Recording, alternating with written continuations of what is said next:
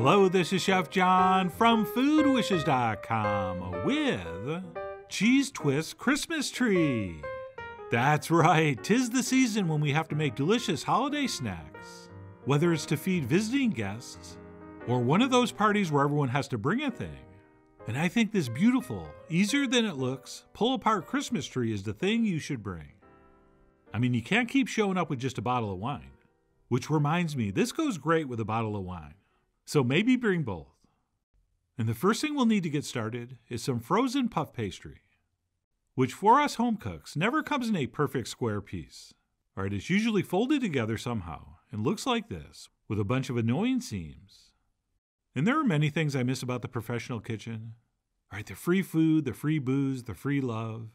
But one of the things I miss most is being able to work with perfect sheet pan sized pieces of puff pastry. But no matter how it comes, once we unwrap it, we'll go ahead and flour it lightly on both sides, and then attempt to roll it into a square about an eighth of an inch thick. And then what we'll do once we've completed the rolling and the squaring is take a knife or a pizza wheel and cut from the bottom corner, or about an inch above the bottom corner, all the way up to the center point of the top. And we'll do that on both sides to form a triangle, which conveniently is about the same shape as a Christmas tree. And then once those cuts have been made, we will transfer this piece onto a Silpat line baking sheet. And we will pop that in the fridge until we need it. At which point we're going to take those two pieces of dough we just cut off, and we're going to place those together, overlapping them by about a half inch or so. And we'll push and press those together to form a second triangle, roughly the same size as the first. And then once we have that formed, we'll take a rolling pin to sort of flatten this out a little bit, and also to screw up the shape of the top but not really. As you'll see, this is going to look great no matter how perfect or imperfect these pieces are. And that's it. We will carefully transfer that piece onto a lined sheet pan.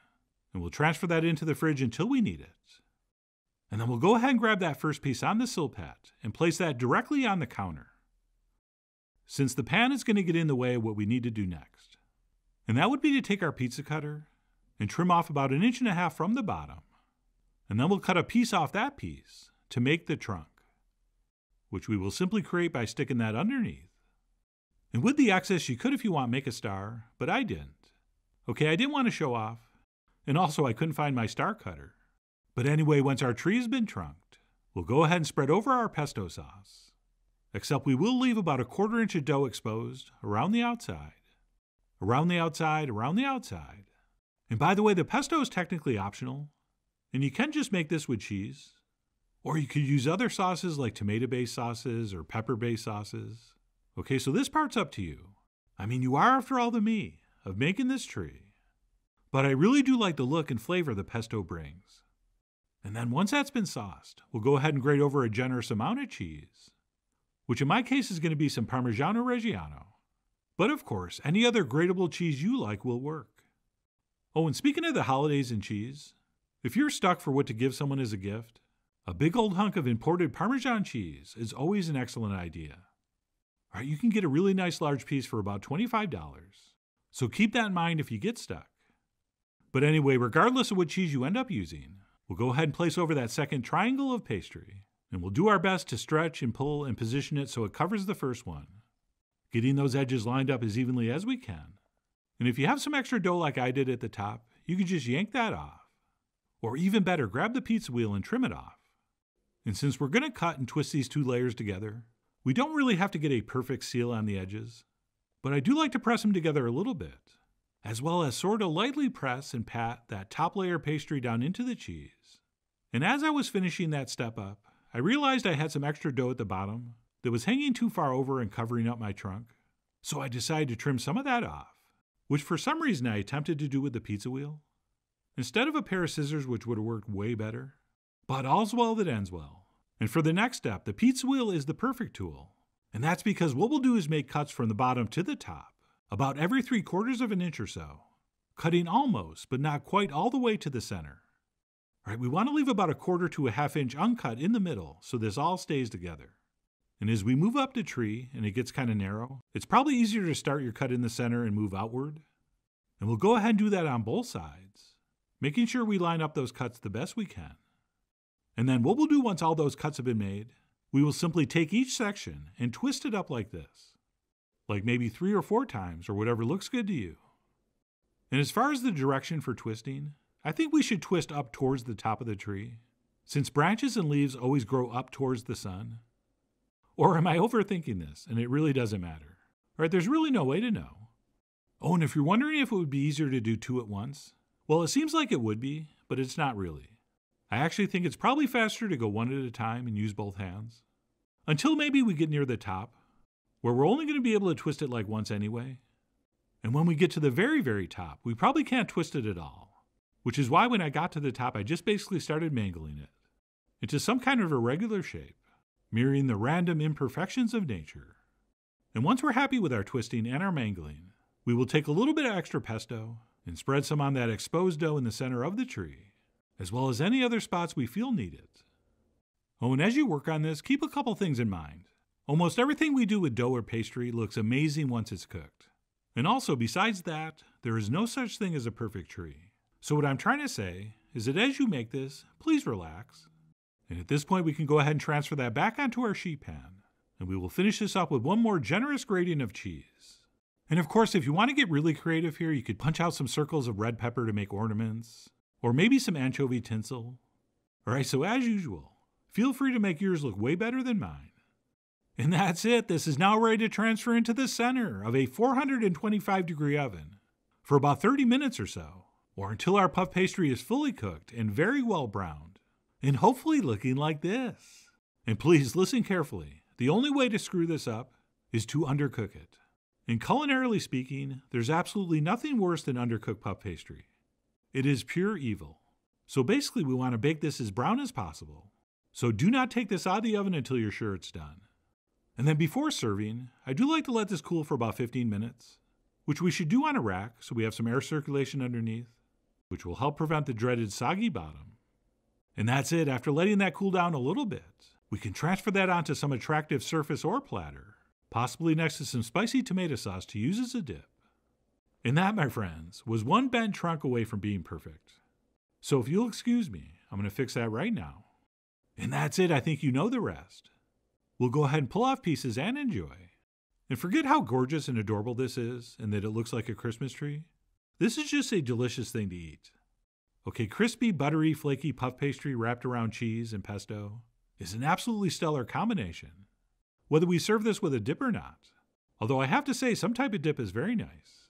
And because I'm home alone, I get to double and maybe even triple dip. And I'm not sure which part of the tree is more awesome those bigger, fatter bottom pieces that have a little more cheese and sauce in them, or the branches at the top, which don't have quite as much stuff. Because that section was thinner, it cooked up extra crispy and crusty, and that cheese is caramelized magnificently. But happily, we don't have to pick. We can just eat some of both. But anyway, that's it. What I'm calling Cheese Twist Christmas Tree. Even though that's kind of hard to say, especially after a couple eggnogs. But it is not hard to eat and really is a proven crowd pleaser. Not to mention highly versatile.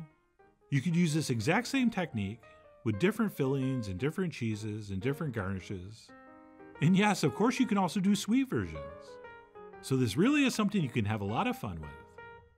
But whether you experiment or not, or make it exactly as shown, I really do hope you give this a try soon.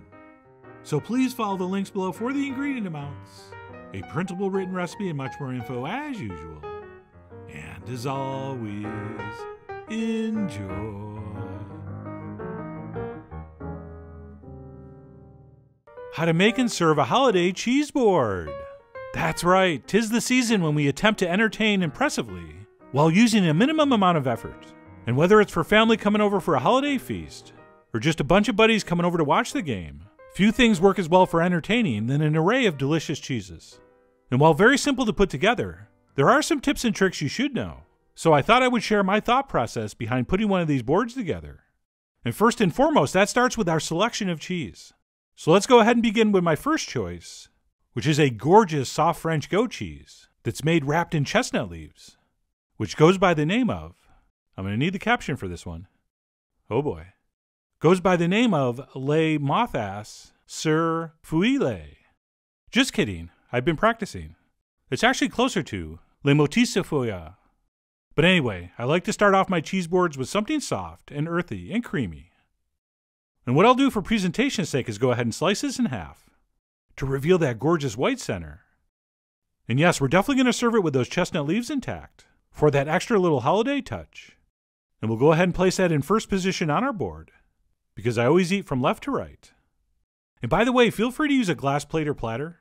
But because people are going to be slicing off pieces of this, I think the wood works so much better.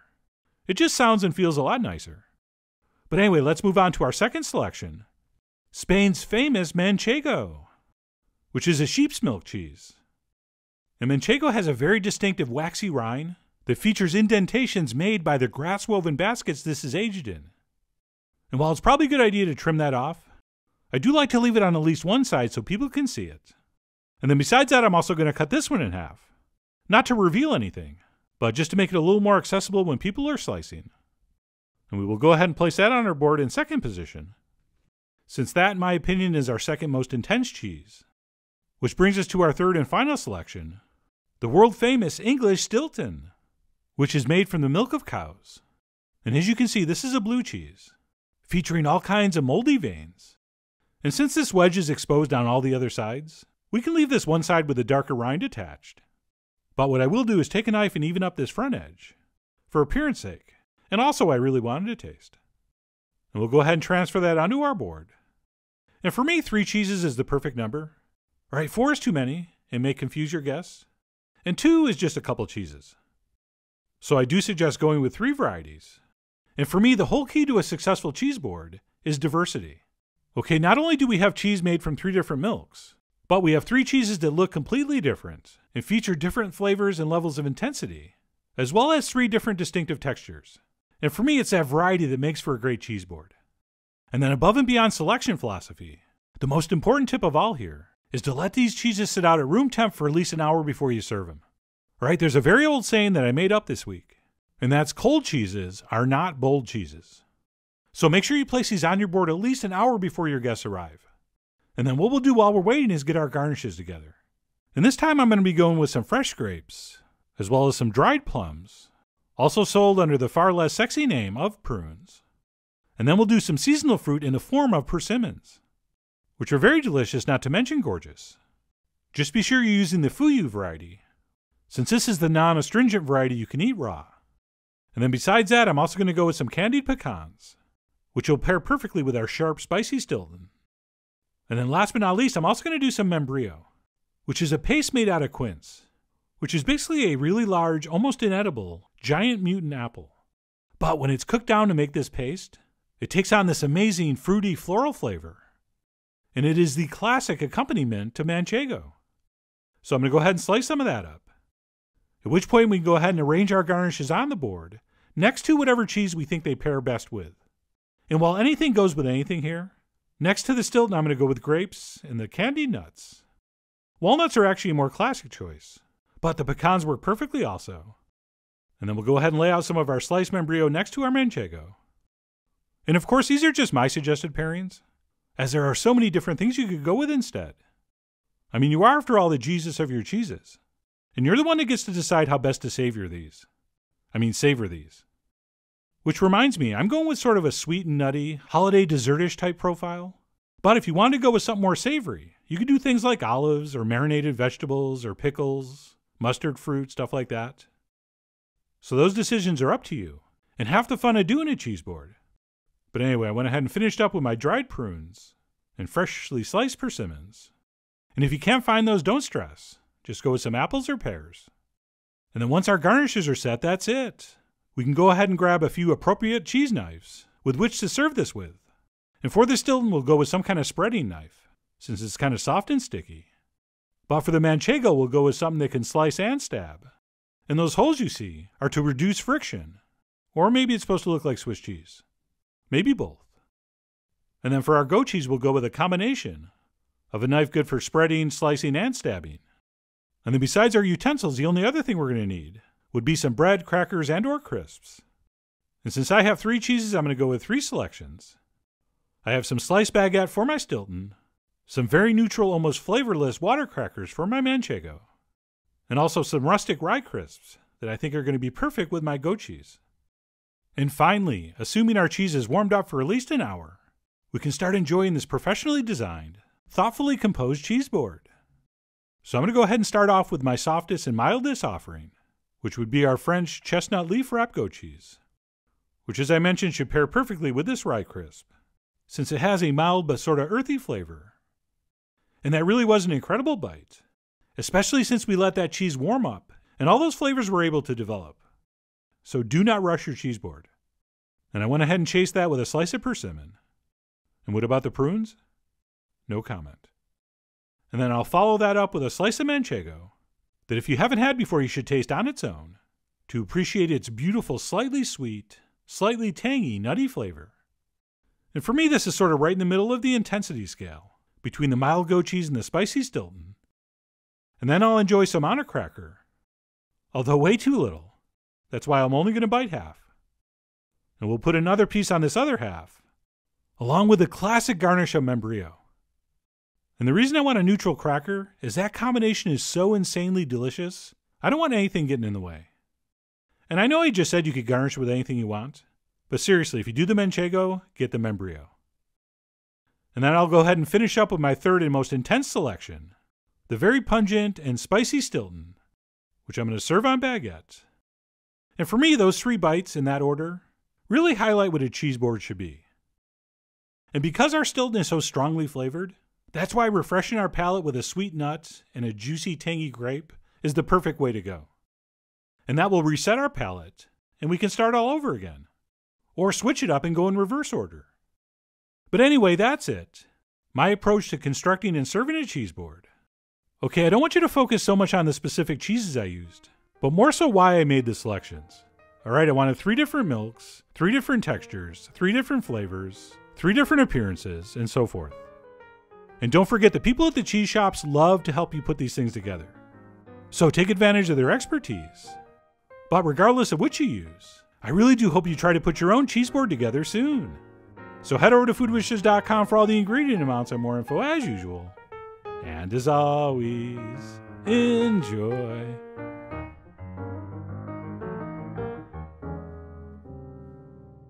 Pine cone cheese ball.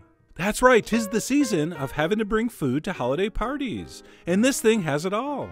It's relatively inexpensive, it's fast and easy to make, and if other people brought regular cheese balls to the same party, you'll make them feel completely inferior, which really, you know, captures the holiday spirit.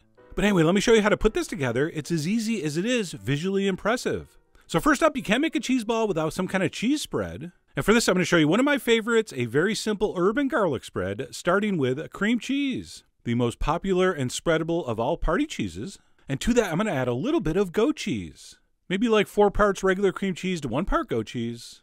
And that's going to add a little bit of extra flavor, a little bit of extra tang. And then to that, I'm going to add a little bit of garlic. You could definitely go roasted garlic here, which of course is going to be sweeter and more mild. We're also going to want to season this up with some freshly ground black pepper, a pinch of salt, and then we're going to make it rain cayenne. And then if we're going to call this a garlic and herb spread, we need some herbs. And I'm doing a trio of chopped herbs, Italian parsley, tarragon, and thyme. And pretty much anything's going to work here except, ironically, rosemary. Even though we're going to garnish with rosemary because it looks like pine needles, rosemary is a very, very strong resinous herb that generally doesn't work as well in spreads like this. It's just so easy for it to overpower everything else. But anyway, we're going to need a whole bunch of fresh herb, and then all we need to do is take a spoon or a spatula, or in my case, a spoonula, and give this a very thorough mixing. And of course, this is going to be a lot easier if your cheese is sort of room temperature. So give yourself a couple minutes and mix this extra, extra thoroughly. Because if you don't, someone's going to get a portion that has a lot of garlic, someone will get a portion that doesn't have any, and then they will argue later about whether it was too garlicky or not garlicky enough. And who needs that kind of drama at a holiday party? Okay, so mix it well, and once we do have that all combined and we've tasted it for seasoning, we'll go ahead and transfer a nice lump of that onto our serving platter and begin the shaping process. And you could just do this with a butter knife. Because I'm a fancy boy, I'm going to use this little cheese spreader. And you don't exactly have to have the skills of Michelangelo here. As long as it's kind of wider at one end and kind of tapers down to a point at the other, that's fine. Keep in mind, you're going to cover this with almonds, so it really doesn't have to be perfect. So I shaped and smoothed mine out to the general shape of a pine cone. And by the way, if you're thinking, man, that's so perfect, how did you get it so nice? I cheated. I used some PEPs, performance enhancing props. But anyway, you're going to work your cheese spread into some kind of cone shape, and at that point, we're ready to apply the almonds. And you're going to want to start at the pointy end and work back to the bigger end. And any variety of whole almond's going to work here. I'm actually using something called sprouted almonds, which tend to be a little flatter and pointier, which I think look really good here. And there's really not a lot that can go wrong here as long as you got the pointy end sticking out and you're covering that cheese spread, you're doing a good job. And don't worry if it doesn't look awesome right away. When it first starts, it's going to look like something out of Jurassic Park. I'm no paleontologist, but I believe that's a Cheezosaurus. But as you'll see, just keep sticking them in. And when you get to this point, you can make your rows a little neater. Of course, if you want to double your productivity, you can use both hands. But be careful, do not pull a muscle. And we'll simply continue until we reach the back. And if you have to use a couple broken pieces to fill in the gaps, go ahead. And then once our cheese spread has been completely covered with almonds, it's basically done. Except, of course, we have to garnish with some rosemary to simulate pine needles. So we'll throw some rosemary sprigs on there. And that holiday inspired pine cone cheese ball is done. Check it out. I mean, that thing's so realistic, you're going to have to tell people it's okay to eat.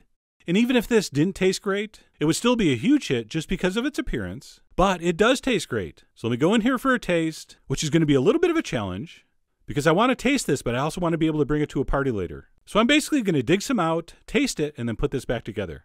And yes, as predicted, that was delicious.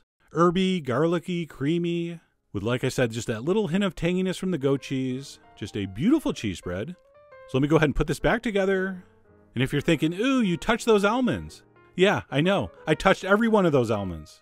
So we'll put that back together. And there we go. The perfect crime. So, anyway, if you were stuck wondering, what the heck am I going to bring to that holiday party?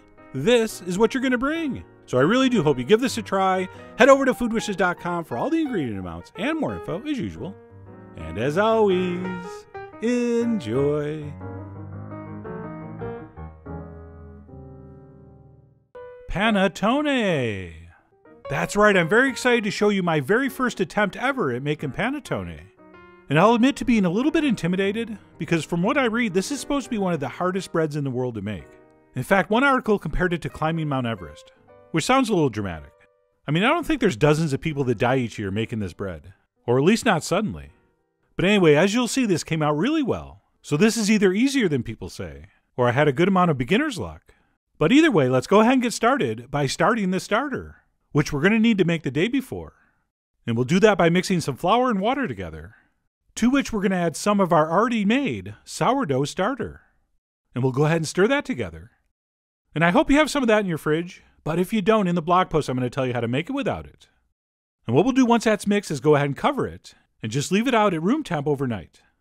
And not only is this mixture going to add some volume and flavor to our dough, it's also, believe it or not, going to help the finished loaf stay fresher longer.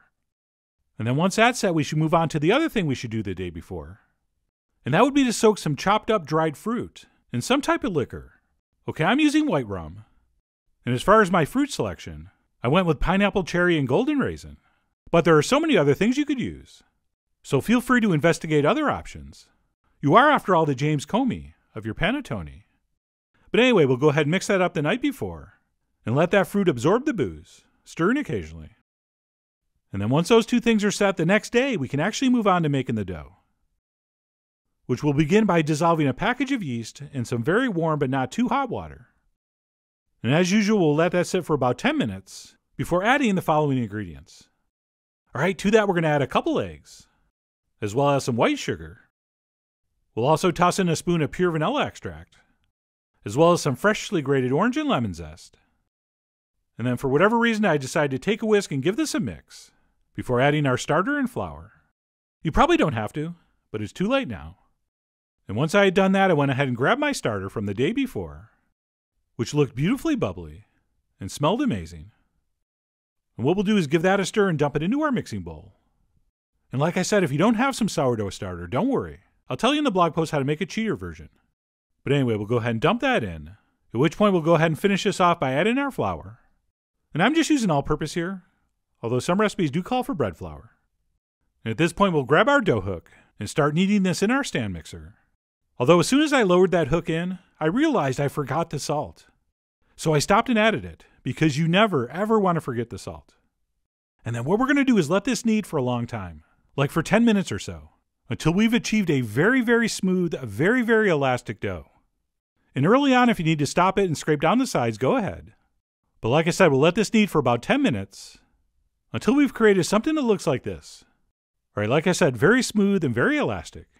And if we pull that dough with our spatula, it should sort of snap back into place. And then once that's been accomplished, we'll go ahead and add our room temperature butter. Okay, ice cold's not going to work here. Make sure it's room temp. And we're going to need that for another five minutes or so, or until that butter is completely mixed in. And we've created once again a very smooth, very elastic, somewhat shiny dough. And once again, you might have to turn off the machine a couple times and scrape down the sides until it all starts to come together. So this is what mine looked like about five minutes later. So yes, we are talking about a very, very soft, somewhat sticky dough here, which is probably one of the reasons people say this is a hard bread to make. All right, generally people are scared of really soft doughs, but don't be. You'll be fine. But anyway, let me go ahead and transfer that onto my work surface so you can get a better look. And then what I did using some slightly damp fingers, as well as the help of my bench scraper, is sort of wrestle and fold that a few times into some sort of dough ball shape. And by the way, one way you can tell if you've developed enough gluten is that you can stretch it so thin you can see light through it without it tearing, which they call the window pane test, because you're supposed to stretch it out between two fingers in front of a window. But I'm not going to, because I can tell just by pinching and stretching like this. And then what I did is transfer that back into my bowl that I didn't even bother cleaning out. I usually do, but I didn't feel like it. And then what we'll do is cover that and let it rise until doubled, which is going to take a while. Okay, these rich doughs rise pretty slowly. So mine actually took about three hours, which was totally worth the wait, if for no other reason just the feeling you get when you punch it down. Man, that feels good. And what we'll want to do at this point is transfer that back onto our table. And then once deflated, again using some damn fingers and our bench scraper, we will fold that back into some kind of ballish shape. Because what we're going to need to do is transfer this into a plastic bag and refrigerate it overnight. Oh, yeah, we're talking about a three day bread here. All right, so if you want this bread today, you have to start it two days ago. But anyway, trust me, it'll be worth the wait. So I went ahead and transferred that into a plastic bag and popped it in the fridge overnight. And by the way, we're not just doing this step to make you wait for nothing. Right, this overnight fermentation in the fridge really does improve the flavor and probably texture. So I did pop mine in the fridge overnight and then pulled it out the next morning, at which point it looked like this. And what we'll do is go ahead and remove the bag. I just rip it open. I know some of you would wash this and reuse it, but I don't swing that way. And then what we'll do is go ahead and press this out into some sort of square rectangle shape. And because the dough is nice and cold and that butter is stiffened up, it's a little easier to work with. And then once I get it to about this flatness, I'll sprinkle it with a little bit of flour, and then roll it out a little thinner with my rolling pin. And the whole reason we're doing this is that so we can scatter over our boozy dried fruit, and then roll this up. And theoretically, that way all our fruit will be evenly distributed. So I went ahead and applied my dried fruit to the surface, which by now had absorbed all that rum. But I ended up not using it all, because as I was doing this, I was thinking, man, this is like way too much fruit. So I actually only ended up using about three quarters of it, which, as you'll see in the final shots, probably wasn't the best idea. I probably should have used it all. But anyway, once that was spread out, like I said, we'll go ahead and roll the dough up nice and tight. And please accept my apologies for the blurriness. See, that's one of the reasons I've never won an Oscar. So let's fast forward. And then once that's been rolled up, I went ahead and rolled both ends up towards the middle, attempting somehow to get it back into some kind of round shape. And if at all possible, try to end up with a good amount of dough on the top. Okay, so I sort of worked that around until, like I said, I ended up with some kind of smooth dough over the top. And then once that's been accomplished, what we need to do is transfer this into a paper panettone mold, which come in this shape, the shorter, wider one, as well as a tall, skinny version. And yes, of course, in the blog post, I'm going to tell you where to find those.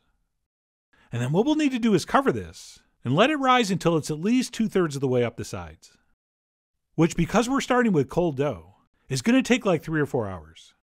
But don't go by time, go until it looks like this. And by the way, a few hours in, I took off the plastic because it was touching the top. It was kind of sticking, and I got scared. You can see the mark it left right there. But anyway, the point is let your dough proof in this mold until it looks like this. At which point we will carefully brush the surface with an egg wash which is one egg beaten with a splash of water. And then once that's been applied to the entire surface, we will take a razor or a sharp knife and cut across into the top about a quarter to a half inch down, which is not just done to make this look really cool, although that's a big part of it. We actually need to do that so it rises properly and we achieve that beautiful signature dome shape. So we'll go ahead and slice the top just like that. And then our last official act before this goes in the oven is to place a small piece of butter right in the middle, which is probably more traditional than practical, since I doubt that's going to make much of a difference. But do it anyway. And that's it. We are finally ready to bake. So we will go ahead and transfer that into the center of a 350 degree oven for about 40 to 45 minutes, or until it looks like this, which would be beautifully browned and spectacularly gorgeous. I mean, look at that. That was so beautiful. I didn't even really care how this tasted. And then if you're thinking, hey, this is probably ready to eat right now. Well, unfortunately, you could not be more wrong. We actually need to let this cool for two hours upside down. Oh, yeah, you heard me. Which is why I'm going to poke in two skewers on either side, and then flip this over onto a panettone cooling hole, which I had cut into my table. But if you don't happen to have access to a panettone cooling hole, you can just flip this over on top of a Dutch oven or a stock pot, something like that. And by cooling this upside down, there's not going to be any collapsing, and it's going to help us retain a beautiful light texture. So take that gravity, and then after somehow waiting for a couple hours for this to fully cool, we will go ahead and pull out those skewers and finally be able to cut in and see how we did. So I went ahead and sliced out a wedge. And like I said, this looks so magnificent. I really didn't care how it tasted. But I'm very happy to report for a first attempt, it tasted really good which didn't really surprise me. What did surprise me was how amazing the texture was for a first attempt. Okay, it was rich and buttery, but it was just impossibly light and airy. The only major surprise was where the heck did all that fruit go? I thought I had way too much, and ended up thinking I didn't have enough. But anyway, besides that, I was extremely happy, and went ahead and cut another piece so I could try some with butter, which is even a better way to enjoy this. And for whatever reason, I found this shape to be more enjoyable than the wedge. So I'm going to suggest you cut yours in half and then down into slices. And while this bread was great plain, and even better spread with butter, I'm going to show you a third and what I consider ultimate way to enjoy this. And that would be lightly toasted with butter. Okay, that really is the ultimate way to enjoy this bread, preferably with a nice hot cup of coffee. But anyway, that's it. My first attempt at panettone. Yes, it took three days and many hours. But as far as actual work involved, there really wasn't that much. And like I said, I was really happy with how this came out. Although next time I am going to add all the fruit and maybe make a few tweaks, which you'll read about on the blog post. But bottom line, this was not even close to as hard as people made it out to be. So, for that reason and many others, I really do hope you give this a try soon. Head over to foodwishes.com for all the ingredient amounts and more info as usual. And as always, enjoy.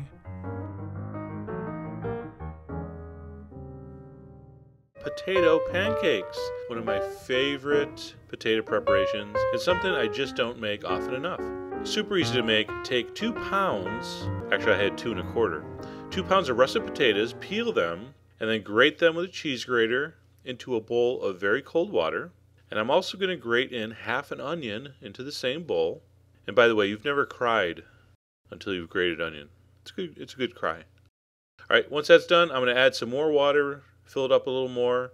And these are just going to sit in the cold water for about 20, 30 minutes. You don't need to rinse it, just let them sit there. In the meantime, take a couple eggs, some flour, black pepper, a little pinch of cayenne, salt, of course, and we're going to whisk that up until very smooth and then set that aside. When our potatoes are ready, drain them, rinse them, put them in a colander, and squeeze, squeeze, squeeze, squeeze. All the water must be squeezed out. So I squeeze it a fistful at a time, and then I press it again with some paper towel. Make sure all the water is out of your potatoes. It's the only way to screw this up, is to have wet potatoes. Once the potatoes are as dry as humanly possible, add them to a bowl, mix in your egg mixture with a spatula, and that is a potato pancake mixture ready to fry. It's an incredibly easy recipe, I told you. I'm going to cover that while I make these because you don't want any air to get to the potatoes if possible because they do oxidize. This is not something you could store, put away, and it, you know it's going to be good the next day. So you're going to want to make this stuff fresh. All right, now to fry these, we're going to use a heavy-duty skillet with a good amount of oil. They say a quarter inch of oil. I don't know if you quite need that much on the bottom, but you need enough oil to come up the side, at least halfway up the pancake, if you want a nice crispy cake. This one I'm just doing a little test to taste for salt. We're going to heat the pan on medium high, and when it's hot, add your pancake mixture, flatten it out, This one's a little smaller than the ones you're going to see. But again, I'm just tasting for seasoning. I'm going to taste this. Oh man, so good. And it did need a little more seasoning. So what you want to do is you want to put your oil in the pan, heat it to medium high. When it starts to shimmer, add your potatoes, flatten them down a little bit. They don't have to be round. Who says they have to be round? If I've said it once, I've said it a thousand times. The kitchen is no place for a perfectionist. Right, flatten them down to about a half inch. Cook them for about, like I said, five minutes per side. You want to see the edges get really crispy and crunchy before you turn them. Five minutes on the other side. And when I flip them, normally I'll turn it down to medium. Because this is raw potato, you got to give it time to cook through. If you keep going on high heat or medium high the whole way, sometimes towards the end, the edges start getting a little too brown and the middle isn't quite tender enough. And there you go. I top mine with smoked salmon, sour cream, and dill. Very classic combination. You can do these with applesauce and sour cream, another even more classic combination, or just plain next to some eggs and bacon. Anyway, go to the site. The ingredients for the filling are quite important, so go check those out. And as always, enjoy.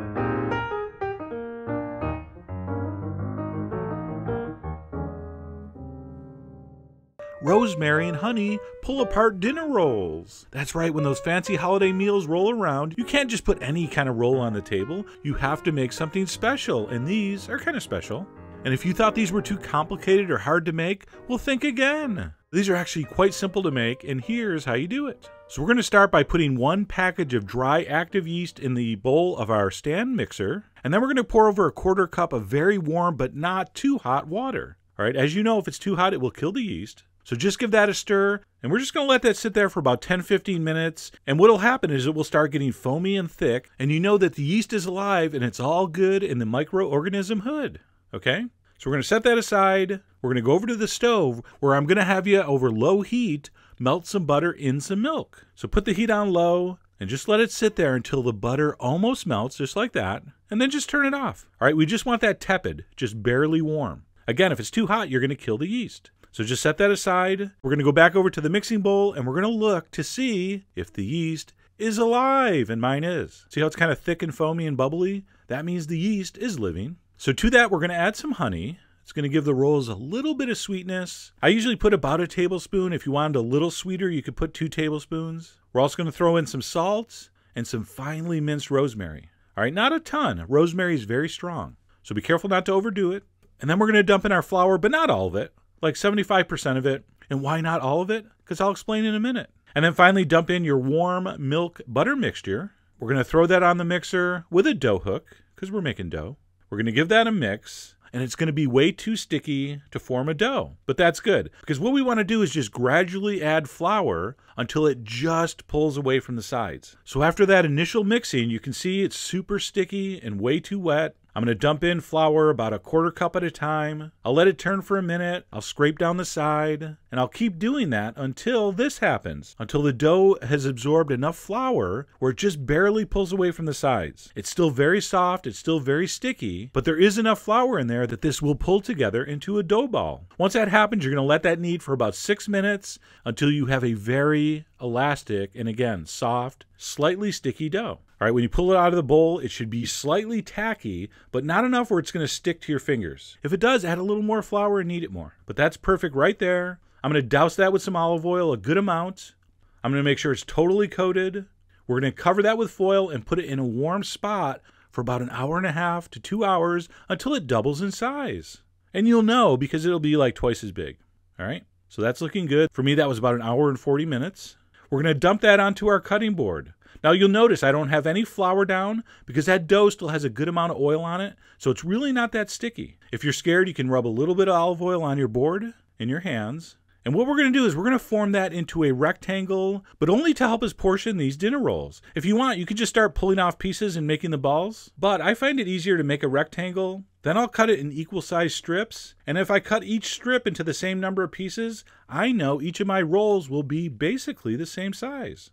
All right, so nothing too complicated. It just helps you portion. And of course, at this point, I will note you can make these any size you want as long as they're the same size so they bake the same. And then once your dough is portioned, you're simply going to take each piece and form it into a small ball. And how you want to do this, you want to fold the four corners up underneath itself so you're keeping a nice smooth surface and you're pulling and pinching that dough towards the bottom so the seams will be underneath and the top will be a perfectly smooth sphere. And just as a side note, sometimes when I'm doing this balling, I will also do a little bit of shot calling, but that's only if I have time. All right. Once those are all balled up, we're going to carefully place those on a lined baking sheet. We want nice, neat rows and columns. And you'll notice they're almost but not quite touching. And this is very critical if you want the pull apart effect. All right. If you put them too far away, you're just going to have little rolls. Not the same deal. All right, you want to call these pull apart rolls, you better have something to pull apart. So we want to get them very close but not quite touching. You can see right there, that's kind of the perfect distance. All right, once those are on the pan, we're going to take an egg wash, which in my case was just a beaten egg with about a teaspoon of milk. I'm going to paint that over the top. It's going to give them a beautiful color. And then last but not least, we're going to take some coarse sea salt and just sprinkle a few crystals on each roll. Again, we're doing this to up the fancy quotient because this is a special occasion roll. And then once those have the salt, the last step before baking is called the proofing, which means we got to let these rise for about 20 30 minutes. I just put mine in the oven. The oven's off, of course. So I put them in the oven for about a half hour, after which they look like this. So I don't know if they're going to double in size, but they're going to be significantly larger. I'm going to take those out. I'm going to leave them on top of the stove while we preheat our oven to 375. When the oven's preheated, put those in the center and bake them for 20 minutes until beautifully browned they're going to look like this, which I think looks spectacular. You can see the egg wash gave them that gorgeous color. That salt really does give them an extra special look. By the way, if you wanted to use sesame seeds or poppy seeds, you could put that on instead of the salt. And of course, you can serve these warm, but don't serve them hot. But I'm going to pull one off here hot so I could burn my finger. But anyway, let me crack this open so you can see the gorgeous inside. Just a very classic white, light dinner roll. I don't have any food to eat these with, so I'm just going to put a little piece of butter on there. Oh, yeah. Just pure, unadulterated deliciousness. And it has that gorgeous aroma of rosemary, that subtle sweetness from the honey. Just a very, very excellent dinner roll. And how many people would really know the difference that you made these from scratch and didn't buy a package of frozen rolls? Who cares? That's not the point. We don't make these to impress other people, we make these to impress ourselves. And of course, other people. Anyway, as you saw, there's really not a lot of work involved in these, so I really hope you give them a try. Head over to foodwishes.com for all the ingredient amounts and more info as usual. And as always, enjoy.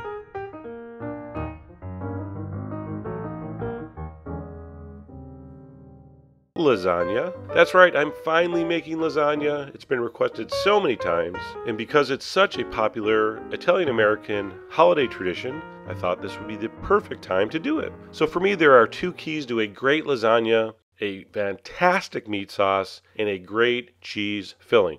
So, first things first. So, for the meat sauce, I'm going to take some Italian sausage and ground beef. We're going to put that over medium heat, and while it's browning, we're going to break it up into as small a pieces as possible. While that's browning, I'm going to take some mushrooms and give them a really rough chop. Okay, don't worry about them all being the same size. Those are going to break down in the sauce anyway. So I'm going to add those to my browning meat. All right, go ahead and stir those in. I'm also going to add some salt, some black pepper, and some red chili flakes. Okay, so at this point, I want you to turn the heat to medium high and cook it until the meat's browned and any liquid that came out of the mushrooms has evaporated. So you see this? The meat's browned and the bottom of the pan is pretty much dry. And at that point, we're going to add our prepared marinara sauce. Am I using homemade? Well, I'm not at liberty to say. But you can use just about anything here. Homemade, jarred sauce, as long as it's good quality, not a problem. All right? You saw me add a splash of water there. If you're using jarred sauce, make sure you rinse the jars with water. And then we're going to bring that to a simmer, turn it down to low, and simmer for hours. How long exactly? I don't know. It should simmer until the meat is extremely, extremely tender. All right, I did mine about two hours. You want to make sure you add a little more water along the way if it's getting too thick. And once it's done and you're happy with the texture, turn it off, taste for salt and pepper, and set it aside. All right, so that's half the battle. Our beautiful meat sauce is ready. On to the cheese filling, which is simply a couple beaten eggs, some ricotta cheese, and not that skim milk stuff, the real whole milk variety. For this recipe, you just need the highest quality cheeses possible. Will people know? I don't care. I will know. And you will know. So after that, we're going to add our Reggiano Parmesan and fresh mozzarella. Now you notice how it's diced and not grated? You shouldn't be able to grate good, soft, fresh mozzarella. In fact, there's an old saying, if you can use a grater, you should be a hater. All right, so use that nice, fresh, soft mozzarella. They have it in stores now. Use it. We're also going to add some salt and pepper and cayenne. And then, last but not least, some fresh Italian parsley and give that a good mix. So, like I said earlier, if you have a great meat sauce and a really great cheese filling, you are going to have a fantastic lasagna. There's no way not to. So, before we can assemble this, of course, we have to boil one box, one pound lasagna noodles. All right, make sure you're using salted water. Now, this is the only time ever, except for maybe pasta salad, where I'm going to tell you when the pasta's cooked, drain it, rinse it, and keep it in cold water. All right, so you see that here. My noodles are ready, and it's time for final assembly. And yes, in case you're wondering, I have tried using the raw noodles, not boiling them first. I don't like that method. All right, let's talk about the pan. This is not something that goes in your wimpy little 9 by 13 casserole dish. This needs a lasagna pan. 10 by 15 by like 3 inches deep is perfect. All right, so get yourself a nice lasagna pan. Now, assembly is super easy if you can do some simple math. Divide your sauce into four parts, your noodles into three parts, and your cheese into two parts. So one fourth of the sauce goes down. On top of that, one third of the noodles. All right, I had 18 noodles, so I used six. Okay, so once the first third of the noodles are down, the base of our lasagna is done, and we're ready for the first half of the cheese mixture. All right, so divide that perfectly in half, spread that cheese mixture out onto the noodles, and then top with another portion of the meat sauce. All right, so once that's spread nice and even, we are going to take the second third of our noodles, place those over, and as long as it's covered, you're good. Don't worry about what it looks like. Don't worry if you got a couple broken ones. It's all good when it bakes. So the second layer of noodles are down. The last of the cheese mixture gets spread on there. I don't know about you, but I'm getting kind of excited. On top of the cheese, just like our last layer, goes the meat sauce. At this point, we're going to give it a little shake to settle it. And yes, the old tappa tappa. And to finish this beauty off, the last of the noodles go over the top. You can see the end there. I just pieced together some of the smaller broken pieces. Doesn't matter. Relax. Once this cooks, it all looks fantastic. All right, over that goes the last fourth of the meat sauce. Spread that over, make sure all the noodles are covered. I'm going to dot that with more fresh mozzarella. We're going to finish with some more grated Parmesan cheese. Cover it loosely with foil. I don't want the foil touching the cheese, but I do want it covered. I'm going to put it on a sheet pan in case I have any spillover. I'm going to put that in a 375 degree oven for 30 minutes. At that point, take off the foil. Continue cooking for about another 30 35 minutes until it's done. And when it's done, it will be golden brown, it will be bubbling, and it will be hot all the way through. What a gorgeous, gorgeous lasagna, if I do say so myself. And I know you can't wait to tear into this, but let it sit for at least 20 minutes. It's just going to be too hot to enjoy unless you do. All right, but after that, all bets are off. Cut it into nice squares. You'll get like 12 decent portions out of this, or like 9 huge ones. You can see all those beautiful layers, that super meaty sauce with the sausage and the beef, and the mushrooms adding a little bit of extra something. The beautiful cheeses. So, so delicious. So, whether you're serving this for your Italian American Christmas dinner or just any time, I hope you give this recipe a try. So, go to the site, all the ingredients are there for the sauce, for the filling, for the whole thing. And as always, enjoy.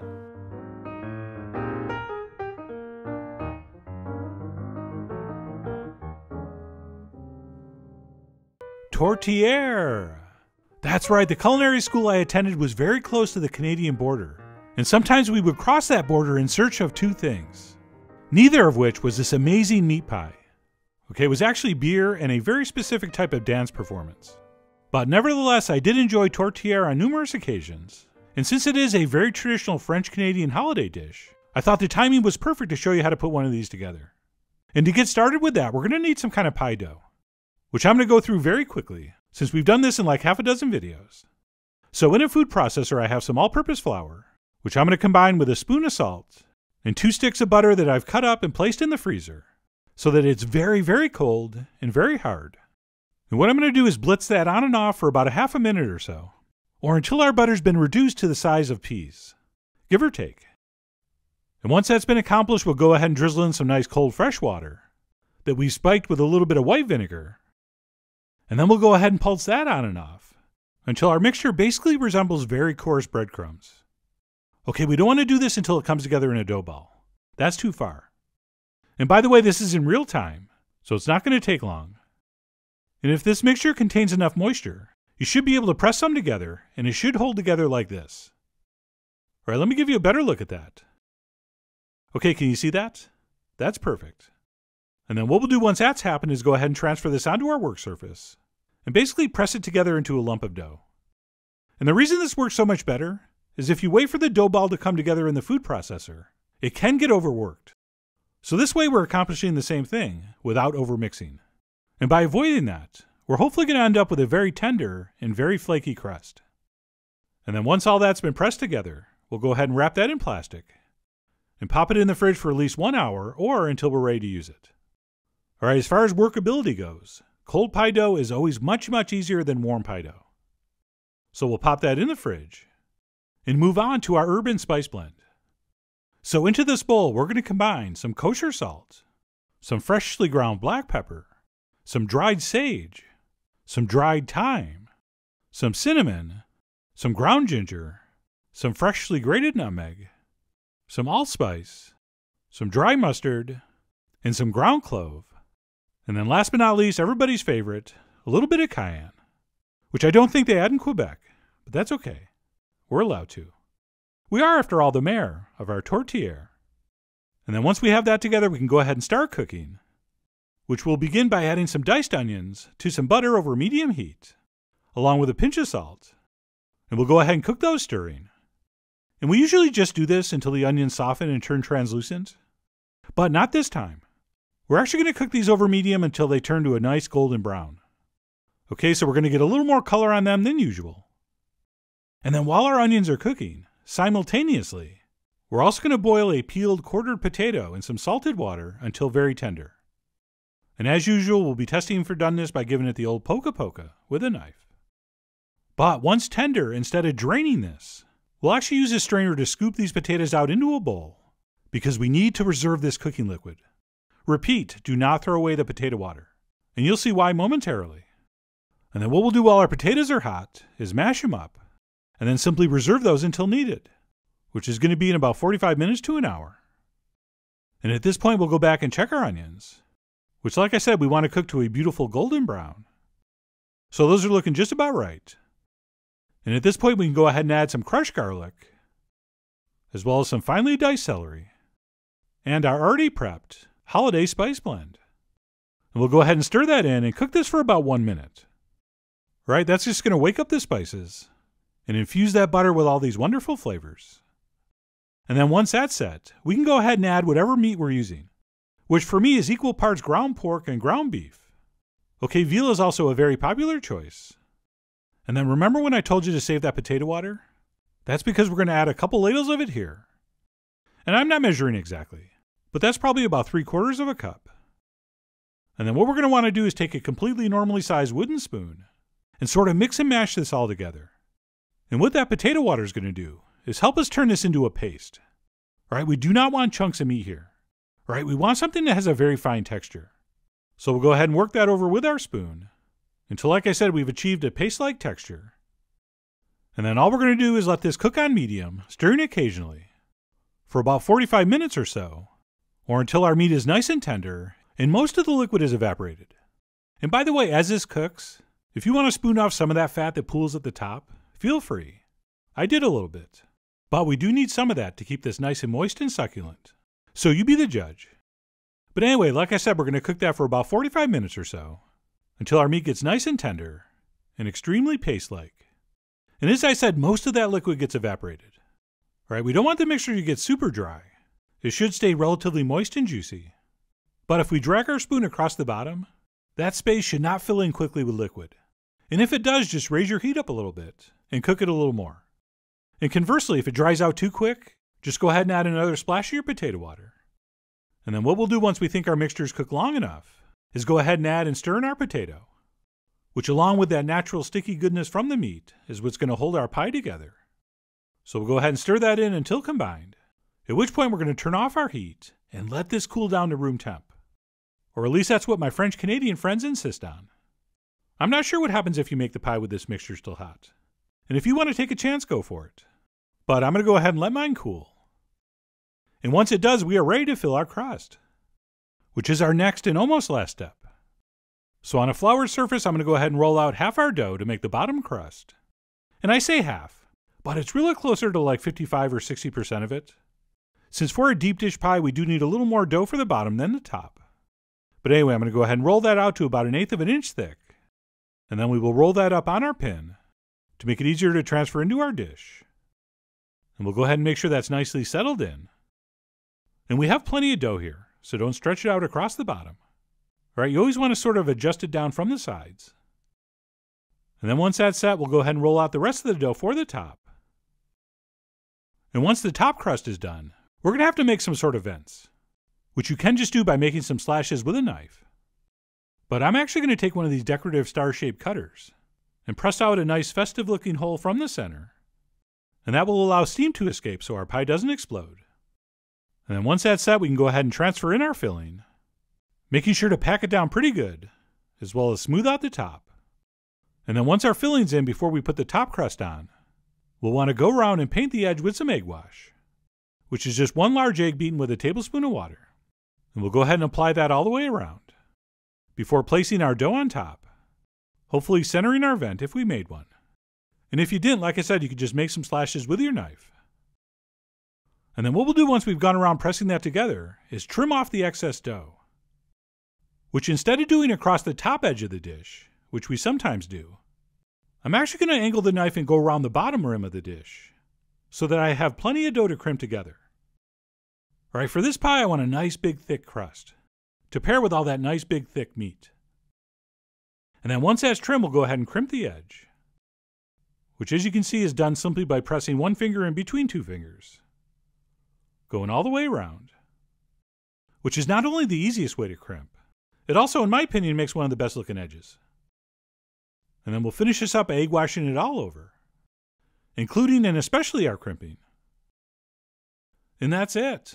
Once our pie's been egg washed, it's ready to transfer into the center of a 375 degree oven for about an hour or until beautifully browned and hopefully looking very close to something like this.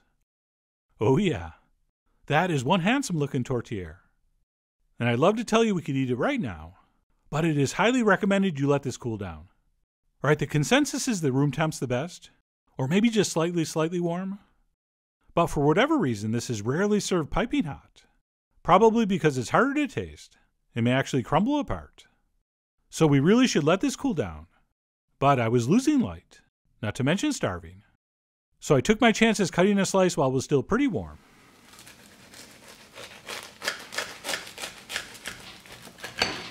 And I'm happy to report it actually worked out pretty well. And after just a few seconds of pushing things back in place, I ended up with a pretty nice looking slice. And I know what you're thinking. There's no way the first one came out that good. You probably cut three or four and used the nicest one. Well, check it out. Take that, skeptics. But anyway, the point is let it cool. The texture will set up a lot better. And while some folks like to serve this with beef gravy, or believe it or not, ketchup, I feel that if properly made, you really don't need anything. That filling is just so meaty and savory, and beautifully scented with all those warm holiday spices. Just extremely flavorful and satisfying. Of course, having said that, I never remember turning down gravy, so I guess if someone offered, I would try it. But this is perfectly scrumptious as is. And not to brag, but that crust came out absolutely perfect. Which reminds me to remind you make sure you bake this long enough until it's nicely browned. Okay, we really do need that bottom crust to turn golden. And this one certainly did. But anyway, that's it. My take on tourtière. I really did enjoy everything about this, as well as the memories it brought back of my trips to Montreal during culinary school. And I know I still have to do a poutine video. But anyway, in the meantime, whether it's for a holiday celebration or not, I really do hope you give this amazing meat pie a try soon. So head over to foodwishes.com for all the ingredient amounts and more info as usual. And as always, enjoy. Honey glazed ham. That's right, 'twas the week before Christmas, and all through the web, people were asking, Hey, how do you do that ham glaze that looks awesome, tastes awesome, and caramelizes to a crispy, crackling finish? Well, that's what I'm about to show you, and it's way easier than you think. And by the way, I'm just doing a half ham here, but this amazing technique will work no matter what size or style your ham. So let's go ahead and get started by setting up our roasting pan. So yes, you're going to need a roasting pan big enough to fit your ham, preferably it comes with a rack. And what we're going to do here is toss in a couple whole star anise and a bunch of whole cloves. And I know traditionally the cloves are stuck in the ham, but is there anything worse to bite into than a whole clove? Actually, you know what? Don't answer that. But the point is, I hate to bite into cloves, so with this method, we're actually going to flavor the ham from underneath. Because what we're going to do is pour in some water, and not only is that water going to make for a beautifully moist roasting environment, but thanks to our spices, it's also going to flavor the meat. Plus, you know what else that water does? It makes cleanup a breeze. Sorry, I'm just practicing for when I get kicked off YouTube and I have to do infomercials on late night basic cable. But anyway, we're going to put in about an inch of water and then we'll put our rack in and place our ham on top of that. And if the outside of your ham is kind of wet and or slimy, go ahead and pat it dry with some paper towels. And then it's time for a very easy yet critical step. We have to score the ham with a knife. And all that means is taking something sharp and make cuts all over this about a half inch apart, about a quarter inch deep. And of course, we want to score it across, we want to score it up and down, but it really doesn't matter as long as you slash that surface all over. That's going to help the flavor of our glaze permeate the meat. And typically, hams like this don't come with a lot of fat. But don't worry, like I said, just cut down about a quarter inch into whatever you have. And once that's done, we're going to go ahead and place that in the center of a 325 degree oven for 20 minutes. All right, so we're just going to give this a little head start while we make our glaze, which is ridiculously simple. So in a mixing bowl, we're going to take a whole bunch of brown sugar. Ironically, one of the secrets to a great honey glaze is not to use too much honey. So we're going to use mostly brown sugar, but of course we're also going to add some honey. Okay, so we got our brown sugar and our honey for our sweet. Now for our tangy, we're going to go with some Dijon mustard and a splash of rice vinegar. And then of course we're going to season this up with some cayenne pepper and a whole bunch of freshly ground black pepper. And then last but not least, a few dashes of Worcestershire sauce. And no salt, by the way. Oh, the ham has plenty of salt. And then we'll simply take a whisk and give this a mix, which is not going to be easy. This is a very thick, pasty glaze. One of the keys here is keeping this very, very thick, okay? So I give it a little mix. If it seems too thick, which it did, we'll add just another little splash of rice vinegar and give it another mix. And we'll do that until we have something that looks like this. So we're just adding enough rice vinegar to make this brushable which you can see right here as I actually stick my pastry brush in. So that right there is the consistency you should be shooting for. Do not go any thinner than that, okay? So our glaze is set, and we'll head back over to the stove where by now our ham is cooked at 325 for 20 minutes, and we will pull it out, and we will begin the glazing process. We'll take our glaze and we will brush it all over, and this is only the first application, so we don't have to go on really thick here. And fair warning, because this is such a thick, heavy glaze, you may tear off some of your little squares of fat from the surface, don't worry, just kind of coax them back into place, and hopefully they'll just stick back right where they came from. So we'll go around and we'll glaze that ham, and then we'll put it back in the oven for another 20 minutes. And we're going to continue doing this every 20 minutes until our ham is ready. And I didn't say cooked. Ham's already cooked, so we're not going by that. We're going to simply continue roasting at 325, glazing every 20 minutes for about approximately 18 minutes per pound until we have an internal temperature of 130. And that's for the type of ham I'm using. Depending on which ham you're using, you may want to go a little higher, but as usual, I'll give all that extra info on the blog. But bottom line, every 20 minutes, you're going to pull this out, you're going to give it another glazing, and you're going to continue doing that until you've reached your desired internal temp. Now, one extra little thing you can do here, when you get down to what you think is the final glaze, I like to drip a little bit of that water from underneath on top, which is of course flavored with that star anise and clove. And that's going to kind of mingle with that glaze and kind of run in between the cracks and crevices. So I'm not exactly sure how much effect that has, but it feels right. But anyway, this was my last glaze.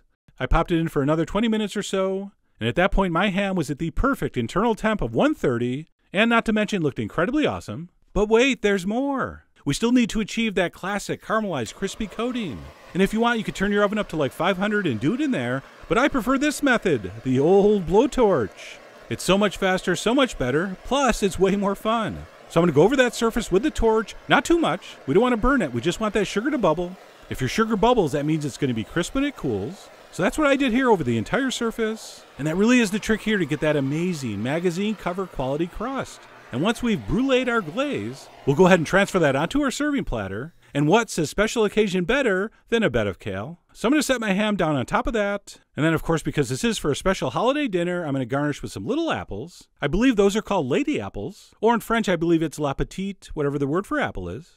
And you know, when it comes to food styling and plate presentations, I'm no Martha Stewart. I'm not even Rod Stewart. But it is the holiday, so you want to try to make it look nice. So we'll place those around.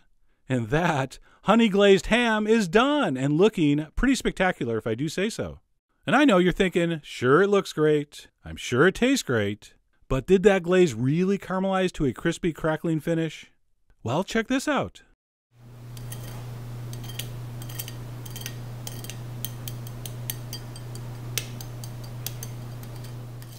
I think I made my point. And then, of course, let me slice into this for a little taste. And as you'll read about on the blog, I'm using an uncured country style ham, which looks paler and has a much lower water content than your typical supermarket ham. So if it looks a little different, that's the reason. Plus, of course, my bad camera angles and lighting. But just because something doesn't look wet doesn't mean it's dry. These style of hams, even though they have a much lower water content, still have a beautiful, tender, rich mouthfeel and just incredible ham flavor. Of course, the drawback is they're way more expensive, but anyway, like I said, we'll talk about that on the blog. And that crispy glaze not only has an amazing texture, but that flavor really permeates that meat. Just incredible. So if your ham came with that disgusting little packet of goo that you're supposed to spread over when you bake it, throw that away. Throw it right in the garbage and do this instead. All right? So head over to foodwishes.com for all the ingredient amounts and more info as usual. And as always, enjoy. for peppercorn roast beef. That's right, we're going to use the four horsemen of the peppercorn apocalypse for this very special holiday inspired roast recipe. And speaking of revelations, we're going to use a cut of beef, the tri tip, that many of you have grilled during the summer, but maybe have never considered using in a recipe like this, which is a shame because it works so perfectly. And first up, we're going to prep the aforementioned peppercorns. We got your standard black. We're also going to use some white peppercorns, and some green peppercorns, which, yes, are a little shriveled, but don't be concerned. I think that's normal.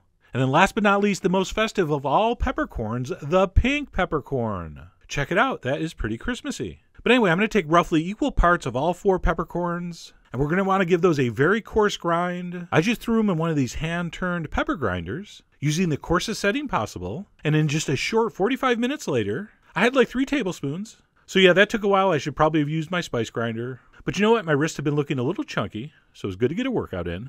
And then we'll just set that aside while we prep our tri tip roast. And there it is, the beef tri tip. And you can see there at the top at the bigger end, it kind of forms a triangle, hence the name tri tip roast. And these usually run about two and a half pounds, so very nice size for a dinner party. And mine came trimmed, and yours probably will too, but if it didn't, you want to trim it up pretty well. You want to take off any silver skin. Or if there's a thin layer of the white fat on there, you can leave that. That's fine. And then before we coat this bad boy, we're going to go ahead and make a little bit of a garlic paste, which is simply a few cloves of garlic in the mortar with a pinch of salt, to which I added a little splash of olive oil, which was a total rookie mistake. Everybody knows you smash the garlic and the salt first, then you add the oil. It still works, it just takes like an annoying five minutes longer. But anyway, smash that into a paste, and then we're going to go ahead and paint it on our tri tip, and we're going to do this to both sides. We're going to paint the garlic on, then we're going to very thoroughly coat it with kosher salt, don't be shy, that's a big hunk of meat. And then after you salt it, we're going to go ahead and press on those peppercorns, and we're going to cover the entire surface, or at least I am. And yes, it's going to be very peppery, but it is called peppercorn beef after all. And once that side's covered, I'm going to flip it over and do the exact same thing. Garlic paste, salt, peppercorns. And after both those flatter sides are covered, we're going to go ahead and get any exposed area. So bottom line, when you're done, that entire tri-tip will be covered in garlic paste, generously salted, and pressed with those cracked peppercorns. So that's looking great right there. And then I'm going to do one optional step just so this recipe takes an entire extra day. I'm going to throw this on a little rack so it sits up off the pan. And I'm going to refrigerate that uncovered in my empty spare refrigerator in the garage that I'm sure everybody has. And I'm just going to leave that to sit and kind of dry overnight. So it's not really dry aging, but kind of the same idea. It's going to dry out a little bit. A little bit of water is going to evaporate. It's going to concentrate the flavors a little bit. And it's really going to give that peppercorn crust a chance to adhere and permeate the meat with flavor. And then the next day I took it out, it looked like that. Pretty much looked the same. It gets a little darker, but don't be alarmed. And then before we pop that in the oven, I like to let it sit out on the table for one hour to warm up a little bit. Never a bad idea with a large piece of meat you're going to roast. And then when we are ready to cook, we're going to take a large skillet, big enough to fit that piece of meat. I'm going to melt a couple tablespoons of butter, but we're not going to sear this. We're going to turn it off as soon as it melts. We're going to toss our beef in. I'm going to coat one side with the butter. I'm going to turn it over, coat the other side. And then that's pretty much ready for the oven, except I am going to give it a little more salt on top. Like I said, it's a big piece of meat, and you're going to have to try super hard to oversalt it. Unfortunately for home cooks, usually the opposite is the case, and they undersalt, and then they wonder why it's bland. So anyway, a little more salt. And then we're going to go ahead and pop that into a very well preheated 450 degree oven for 15 minutes. So we're going to start this off very hot. And then after 15 minutes, we're going to pull it out. We're going to turn our oven down to 200. We'll go ahead and flip over the roast. And then we'll pop that back in and we'll continue roasting at that low temperature for, I don't know, about 15, 20 minutes more. Or until it looks like this and the internal temperature, for me at least, is 130. That's what I'm recommending. You cook it how you want. You are the boss of your angle shaped roast. But I went to 130. And at that point, we're going to transfer that onto a plate to rest. And I want you to tent that, but very loosely with foil. And just let it sit there resting for at least, at least 15 minutes, which is the perfect amount of time to finish the pan sauce. So we're not going to pour off any of that fat. You should have about a tablespoon or two in there. We're going to put that on medium heat. We're going to sprinkle in about a tablespoon of flour. We're going to cook that stirring with our whisk for about two minutes just to take the raw edge off that flour. And at that point, we're going to whisk in three cups of some very, very delicious beef or veal stock. Although, you know what? I used neither. I used oxtail stock, which I use as kind of a cheater demi-glaze, which I'm going to show you. But anyway, I went ahead and whisked in my oxtail stock. And then we're going to finish this with standard Food Wishes pan sauce procedure. Oh, you know how we do. We simply reduce this until it's the consistency we want. So turn your heat up to medium high, bring it up to a simmer, and while we're waiting for that to boil, we can go ahead and season it up a little bit. Now, I'm thinking you're not going to need any black pepper, but you may need some salt.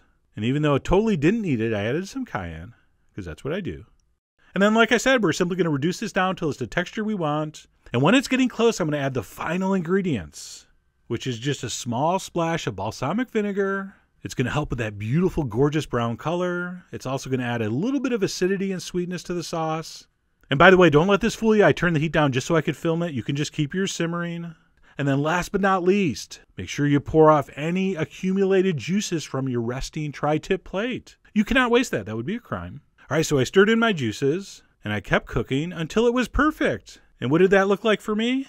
Here you go. Check it out. That is one super, super sexy sauce. Look at that shine. I could actually comb my hair in that pan. If, you know, I had hair. So anyway, our sauce is set. We're going to turn that off, and it's time to carve the beef. And we're going to start on that small end and cut across the grain. Now, for appearances, I probably should have started on the larger, rarer end, but that's okay. Even this meat that's almost well done at the end was still amazingly juicy and flavorful. And of course, as you cut towards that larger end, the meat's going to get pinker and less cooked. And by the way, crazy people, the juices aren't blood. Come on, read a book. But anyway, we're going to slice that up. We're going to plate that up. Warm plates, of course. And then we're going to spoon over that pan sauce. And that, my friends, was a spectacular roast beef. And I think you can see from this shot that meat is so tender and so juicy and so, what do the kids say these days? Amaze balls that you simply have to give it a try. The tri tip, a very popular cut during the summer for grilling, yet very seldom used in the winter for holiday roast. And I'm not sure why. It works so beautifully. So I really do hope you give this a try. Head over to foodwishes.com for all the ingredient amounts and more info, as usual. And as always, enjoy.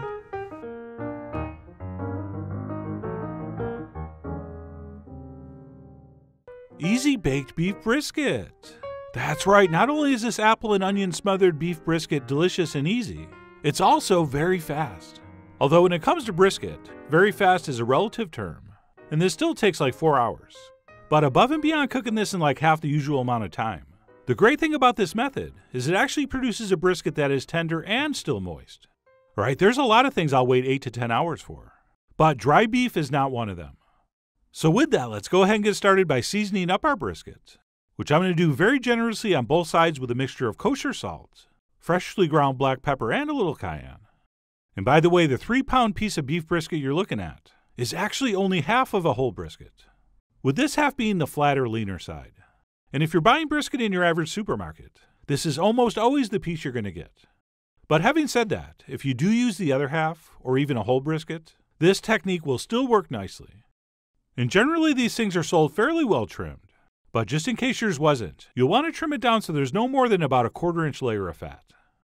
But anyway, like I said, we will season that very generously, at which point we could go ahead and start the recipe. But what I highly recommend is popping this in the fridge overnight to let those seasonings really sink in.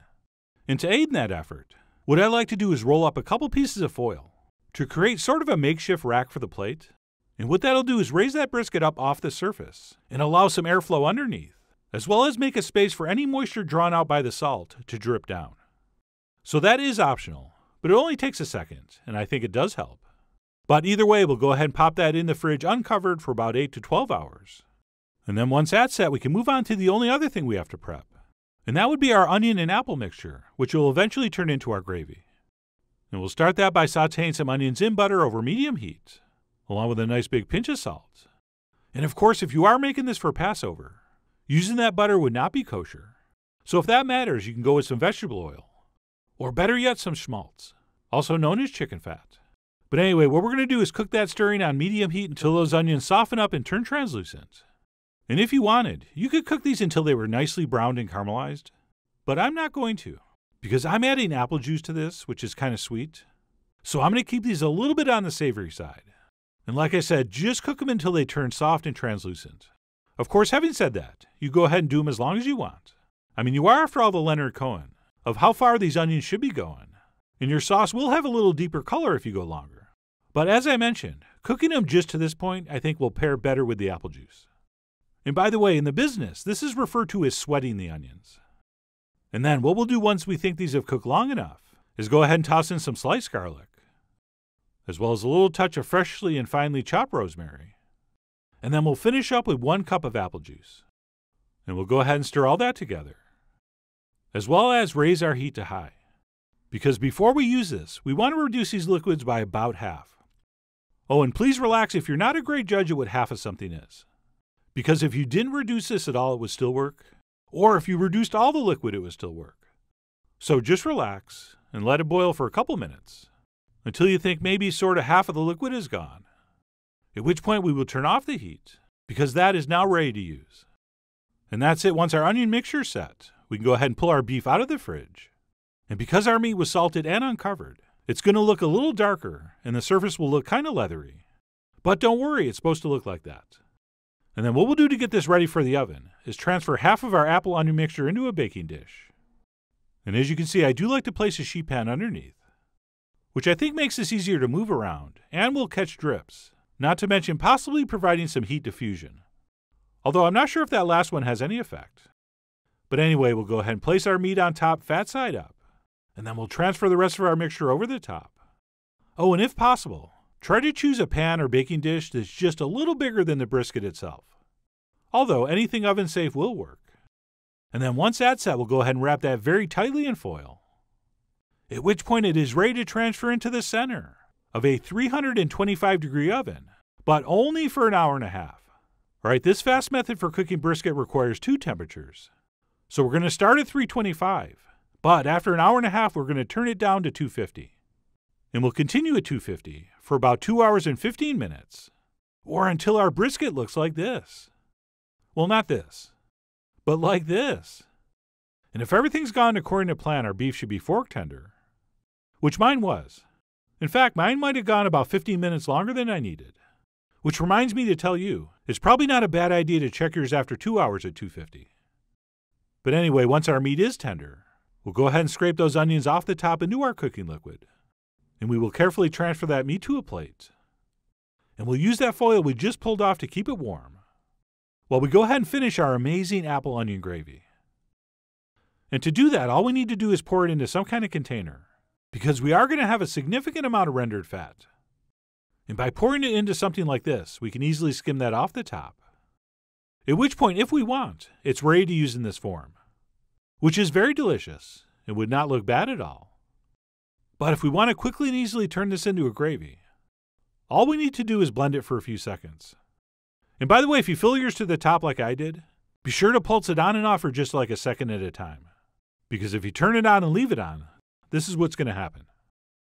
So that was unfortunate. But these things will happen. And I simply cleaned it up and kept blending, as if nothing had even happened. And by simply blending those cooking liquids, we've produced quite a gorgeous sauce that tastes even better than it looks. And of course, you'll give it a taste for seasoning. But I bet it's very close. And that's it. Once our apple and onion gravy is ready, we can go ahead and slice our meat, which you always want to do across the grain, which for me are going this way. So I'll have to slice across that way. But I'm going to turn this around because I have my eye on this beautiful succulent looking end, and I will slice some off so I can go in for a taste. And even though we used a relatively short cooking time, this meat was beautifully tender, and more importantly, still very moist. Alright, if you really know what you're doing, those low and slow methods can work out and produce something similar to this, but it can be a little trickier. Plus, if it's about the same, why are we waiting six extra hours? That is a good question. Another good question is why am I eating this on a cutting board and not next to a mashed potato pancake and carrot salad, with my meat being sauced with that amazing apple and onion gravy that we may want to garnish with some finely snipped chives. And yes, that is kind of a big pile of beef. But one taste, and you'll understand why I needed that much. And above and beyond the moist, tender meat this method produces, that subtle earthy sweetness from our onion and apple mixture has really permeated that brisket and somehow makes things taste even beefier. And in case you're wondering, as delicious as that gravy is on the beef, it also worked amazingly well on my mashed potato pancake, which I'm pretty sure we have a video for. But if we don't, I will take care of that at some point. In fact, as great as the beef and sauce was, I have to admit to being sort of distracted by that pancake. Although to balance things, I was not at all distracted by the carrot salad. But anyway, that's it. What I'm calling easy baked beef brisket, even though it's technically braised. But that aside, this method is much faster and produces results just as good, if not better, than the classic low and slow method. Plus, once we're done cooking, we're able to produce one of the easiest and most delicious gravies ever. So, whether you plan on leaving out the butter and making this for Passover, or maybe you plan on making this for that friend of yours who's very proud of their beef brisket, which takes like 12 hours, and you've never had the heart to tell them it's a little bit dry, or you're just in the mood for moist, tender beef brisket, but don't want to spend all day waiting for it to cook. Either way, I really do hope you give this a try soon. So head over to foodwishes.com for all the ingredient amounts and more info as usual. And as always, enjoy.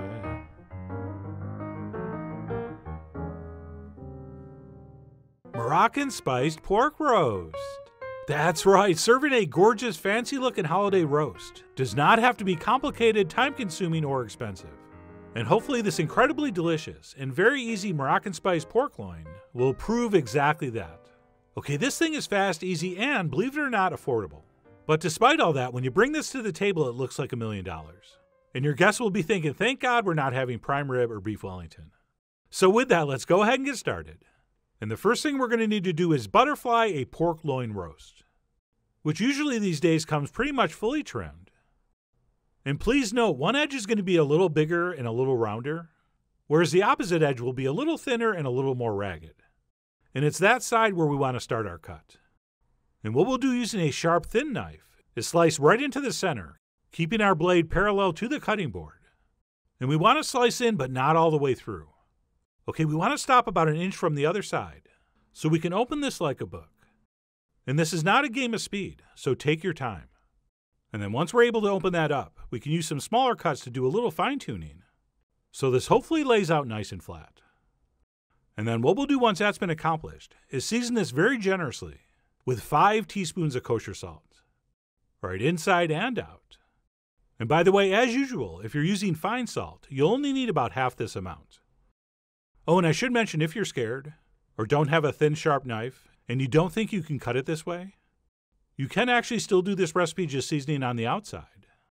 I mean, you are after all the crazy town of whether this butterflying goes down. But being able to season this inside and out is a huge advantage. But anyway, we'll go ahead and season that very generously inside and out. At which point we'll transfer that onto a plate, and believe it or not, let it sit out at room temp for 30 to 45 minutes. Which I'm sure is going to make a few of you nervous, but that's fine. While we don't want to be scared, being a little bit nervous can be fun. And please believe me when I tell you nothing bad's going to happen here. Having said that, if you want to do this in the fridge for two or three hours, that's fine too. And then what we'll do while we're giving our pork what is basically a quick dry brine is go ahead and whip up our Moroccan spice paste, which will contain some ground cumin, some coriander, some ground ginger, some freshly ground black pepper, some smoked paprika, some cayenne, of course, some cinnamon, some ground cloves, and last but not least, some allspice. And then what we'll do to turn this into a paste is squeeze in about three tablespoons of honey. And then we can take a spoon and give this a mix.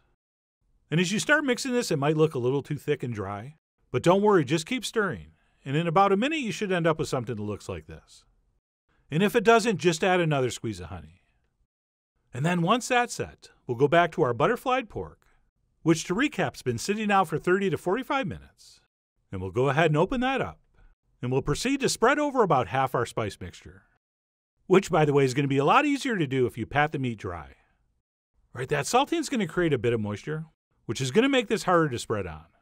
So, probably not a bad idea here to pat that dry with a paper towel. Although, as you can see, once I got started, it wasn't too bad. And like I said, we'll spread about half that inside, and then the rest on the exterior bottom and top. And by top, I mean the fattier side if you have one. Okay, this was fairly well trimmed, but if you do have one side that has a little more fat than the other, have that side up. And that's it. Once our pork's been Moroccan spiced, we'll go ahead and take some pieces of kitchen twine and tie this up every few inches. And a big tip here when you start, make sure you twist that through three or four times before you cinch it up. And that will create some friction and keep that tie cinched until you finish the knot. And then once completed, I like to trim off the excess. And we will go ahead and do that three or four times, every about an inch and a half or so. And besides holding our pork together and helping it roast a little more evenly, once this is cooked and those are removed, the marks it leaves are going to help give this that classic holiday roast look. And then once that's bound, we'll go ahead and transfer that into some kind of baking dish or roasting pan, into which we've drizzled a couple tablespoons of olive oil. And then, if we're including them, which you should, we will go ahead and surround this with whatever vegetables we're going to serve it with, which in my case are some little potatoes, some chunks of carrot, some red onions, and a couple nice long green Anaheim chilies that I split in half. And we'll go ahead and arrange those around our meat and yes, in case you're wondering, I did toss those with some olive oil and salt first. And that's it. Once our baking dish has been potatoed and vegetabled, I'm going to go ahead and clean off any excess oil or drippings, mostly so I don't drop this on the way to the stove. And once that's been wiped, this is now ready to transfer into the center of a 350 degree oven for about an hour and 15 minutes, or until the internal temp in the thickest part reads 140 to 145. And once it's reached that point, it should look very similar to this which looks pretty good. But hang on, it gets much, much better. Because what we'll do at this point is grab some tongs, and we'll give that meat a turn or two in those beautiful pan drippings. At which point we will transfer that onto a plate, cover it loosely with foil, and we will let it sit and rest like that for 15 minutes before we slice it. And what I usually like to do while I'm waiting for that is go ahead and toss our potatoes and veggies in those drippings, which by the way just smell insanely delicious. And then what I'll do once those are all nicely coated is crank my oven up to like 425 and toss those back in for a little extra roasting while our meat's resting. And of course, if you think they're already perfect, don't bother. But generally, this kind of stuff always could use a little extra caramelization. So I did pop those back in for about 10 minutes. And that's it. Once we're ready to serve, we'll go ahead and remove our strings. And of course, any of those accumulated juices will get added back into our pan drippings. And then once unstrung, we'll go ahead and platter our pork and we will surround that with our roast vegetables. And of course, we're also going to shine up the top with a few spoons of our drippings to create what I think is just an absolutely gorgeous presentation.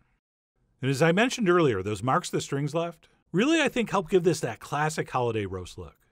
Okay, just the way it creates those subtle shadows, to me, really makes this look more appealing and provocative, which is why in the business we refer to that as culinary cleavage. But anyway, we'll go ahead and spoon over some of those drippings and that's it, our Moroccan spice pork roast is ready to slice and serve.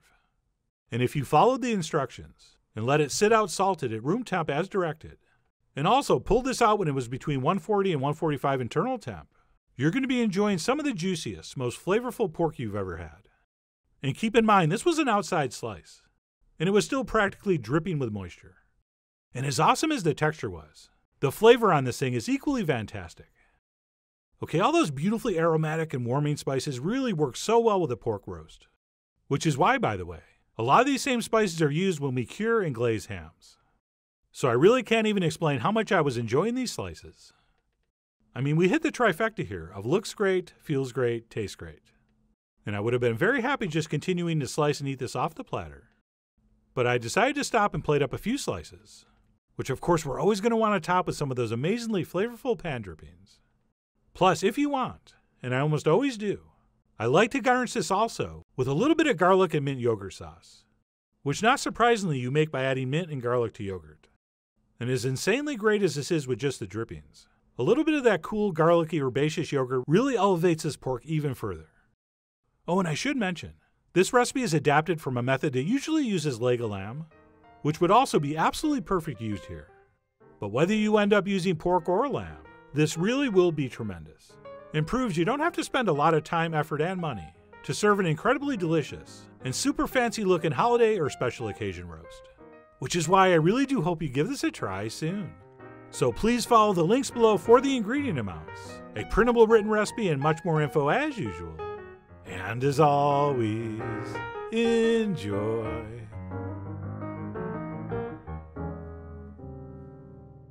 Eggnog.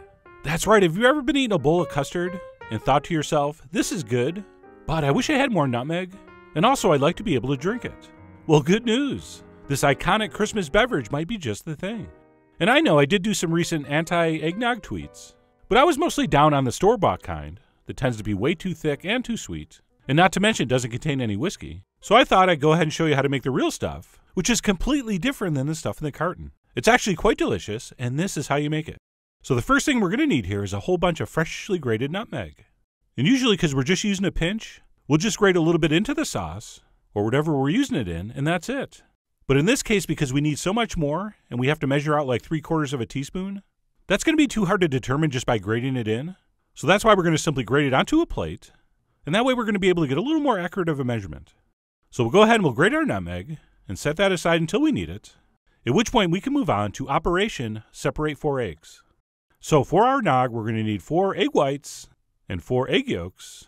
And the last time we did this, I used the through the hand method, but several viewers pointed out that the oils on your hands could affect the whipping of the egg whites, which I guess is technically true, although that's never happened to me. No matter what method I use, the egg whites seem to work fine. But anyway, I did use the shell to shell method nonetheless. And one quick thing I wanted to mention it's always okay to get a little egg white in your egg yolk, but you never want any yolk in your white, because that fat's going to prevent them from whipping up, okay? But anyway, we're going to separate four eggs and then start doing stuff to them. And the first thing we're going to do is add some sugar to the yolks and take a whisk and mix that for about a minute or until the mixture kind of lightens up and gets a little creamy and looks like this. At which point we can go ahead and add our dairy in two forms. We're going to do a couple cups of milk as well as a cup of heavy cream. And we'll go ahead and give that a stir. And then what we'll do is we'll take this mixture over to the stove and place that down on medium heat and cook it whisking very often until it reaches a temperature of between 170 and 180 degrees, which to a bare fingertip is going to feel very hot and almost too hot to touch. So that is how some people tell, but that is obviously very unscientific. So my preferred method, of course, is to use a thermometer, thereby taking all the guesswork out of it. And sometimes when we're cooking similar mixtures, we can kind of watch to see when it thickens up as an indicator for when it's done. But because we only have four egg yolks here, and that's a lot of liquid, the viscosity is really not going to change too much here, okay? So we really do want to check with the thermometer. So like I said, we're going to keep that on medium heat, stirring quite often, until we hit our target temperature, which I said is about 170, 180, at which point we can quickly and carefully remove that from the heat. And while the mixture is still piping hot, we can stir in our freshly grated nutmeg. And then once that's set, we can add another key ingredient, which some crazy people consider optional, but I don't, and that would be the whiskey. So I'm going to add two splashes of some nice bourbon. Some people do go with rum, but I prefer the whiskey. But of course, that's up to you. You are Kermit the Frog of your Christmas eggnog. And speaking of being green, don't drink too much of this. An eggnog hangover is not recommended. So we'll go ahead and we'll stir in a little bit of booze, at which point we need to cool this down and refrigerate it until very, very cold. And to speed up that process, I like to cool mine in an ice water bath, except I don't waste any ice. We need to save that for the cocktails. So if you use a nice big bowl and lots of cold fresh water, just give it a stir once in a while, and that's going to cool down very quickly. You'll see. And by the way, I wanted to mention a lot of the cool kids are doing non cooked versions of eggnog. And there's actually no heat involved. Everything's done by whisking and emulsifying the ingredients together. But while you can get a similar texture, I really think the cooked version tastes better. But as usual with these kind of theories, there's no way to prove them. And then what we're going to do when our mixture cools down to room temp is transfer this into some kind of container and I like to use this glass pitcher, which is not only going to allow me to chill this, but there's also going to be enough room in here to mix in my egg whites and serve right from this same container. So we'll transfer in our now cooled custard mixture, and we will pop that in the fridge for a couple hours or until thoroughly chilled. At which point we can move into final production, which starts with our meringue. So we will take our four reserved egg whites and start to beat those with a whisk just until we get some very, very soft peaks forming. Something similar to what you see right here. And once it reaches this stage, what we'll do is we'll sprinkle in one tablespoon of sugar and continue whisking until we have stiffer peaks. Okay, we don't want to go too far, but we do want to whip it until it's at least this stage so that those egg whites will hold a peak like that. Or sometimes I refer to this as the shaving cream stage because that's pretty much what it looks like, or at least back in the day when there was shaving cream. But anyway, once our egg whites are whipped up, we can go ahead and stir them into our now very, very ice cold custard base. Just whisk it right in. Don't worry about anything like folding. We're not doing a souffle here. Just mix it all together. And believe it or not, our eggnog is done. And yes, if your custard base was super ice cold, you could enjoy this now. But really, I think it's best if you put it back in the fridge and chill it thoroughly again. And while a lot of that frothiness will dissipate as it sits and chills in the fridge, I think the taste and texture of this is better if you do chill it thoroughly again. But either way, when you're ready to serve, we will transfer that into some appropriate cup or mug. And what's going to happen is you pour that in, this thin but gorgeous layer of meringue is going to form on the top, which should give us that classic eggnog look. Speaking of which, it is mandatory. We will finish this with a little extra grating of fresh nutmeg. And our eggnog is officially ready to serve. And by the way, I know that looks like a nice leather placemat, but it's not. It's not real leather. It's actually Naugahyde. Oh, yeah, some of these just write themselves. But anyway, that's it, your classic homemade Christmas eggnog. If you've never had the real stuff, imagine a luxuriously textured bourbon spiked custard being sipped through a thin layer of nutmeg scented meringue. I know that does sound delicious, and it is. And I really should have shown this earlier before I poured the first one, but you must whisk this every time you pour. And that goes for repours like this, as well as whisking it very thoroughly before you pour that first one. And that way you're always incorporating those whipped egg whites back into the mixture, which really does give it that beautiful, smooth, but not too thick texture. Okay? And hey, if you're going to top it off, you might as well really top it off. And yes, that will be the most popular question after this is posted Do I have to put the booze? Can you do it without the bourbon? Well, of course you can, but you shouldn't. Not only does that bourbon add an important flavor element, but at the Christmas party, it's going to make everybody's story seem a little more interesting. So there is that to consider. But anyway, that's it how to make homemade eggnog. Whether you're going to make it for the Christmas party or just the next time you feel like drinking dessert, I really do hope you give this a try soon. So head over to foodwishes.com for all the ingredient amounts and more info as usual. And as always, enjoy. Hot buttered rum. That's right, I am trying to do a voiceover after drinking two hot buttered rums. Or as people that have had three of them call them, hot ruddered bums. But anyway, I'm sure I'll be fine. At least I feel fine. Like really fine. And while eggnog gets a lot more press, for me, hot buttered rum is the ultimate festive holiday drink. Alright, so rich, so delicious, so satisfying, and super easy to make. So with that, let's go ahead and get started with what they call the hot butter rum batter which is not going to begin with hot butter, but rather nice and soft room temperature butter, to which we will add one half cup of severely packed dark brown sugar, plus a little touch of real pure vanilla extract, followed by an array of all our favorite holiday spices, which of course means cinnamon, as well as some ground ginger. Then we'll also want some freshly and finely grated nutmeg. And when I say finely grated, I mean don't press down too hard on the grater. Okay, we don't want big chunks. We're also going to put in just a little touch of cardamom, as well as an equally small pinch of ground cloves. And then last but not least, assuming we're using unsalted butter, which we are, and ideally a really high quality one, we'll also need a small pinch of salt. And that's it, we'll go ahead and take a spatula, and we'll mix, mash, and smear this into a very smooth paste. And by the way, since all this is going to get melted by boiling water, achieving a smooth texture is not a big deal. But making sure all those spices are incorporated evenly is. So please take your time and give this a very thorough and thoughtful spatulation. And that's it. Once our batter's mixed, it's ready to use. And if we're going to use it right away in this soft form, which I am, we'll go ahead and take a spoon and scoop out about two tablespoons of this stuff. Although, like everything else in this drink, that's going to be to taste. But I do think we want a nice generous spoon like this. And we'll go ahead and transfer that into some kind of heat-proof festive holiday mug, preferably one with a poinsettia design. But in a pinch, holly will work. And then to our hot butter rum batter, we'll go ahead and add a little bit of heavy cream, which is optional, but I think mandatory. And then, of course, we're going to need to add some rum, which for me is going to be three tablespoons of dark rum. And obviously, if you'd prefer to use white rum, go ahead. That's up to you. I mean, you are, after all, the Peter Gunn of your hot buttered rum. But anyway, if you're not sure, go ahead and investigate and try a few different kinds and see which one you like. But put me down as a dark rum guy. And that's it. Once that's set, we'll go ahead and fill this about halfway up with boiling water. And we'll give it a stir with our spoon until that batter is completely dissolved. At which point we'll top it off with the rest for a total boiling water amount of about three quarters of a cup to one cup. Again, depending on your taste. And that's it. We'll give it one final stir before garnishing with either a sprinkle of cinnamon or a little extra grating of nutmeg, which is what I prefer. And again, use a very light touch.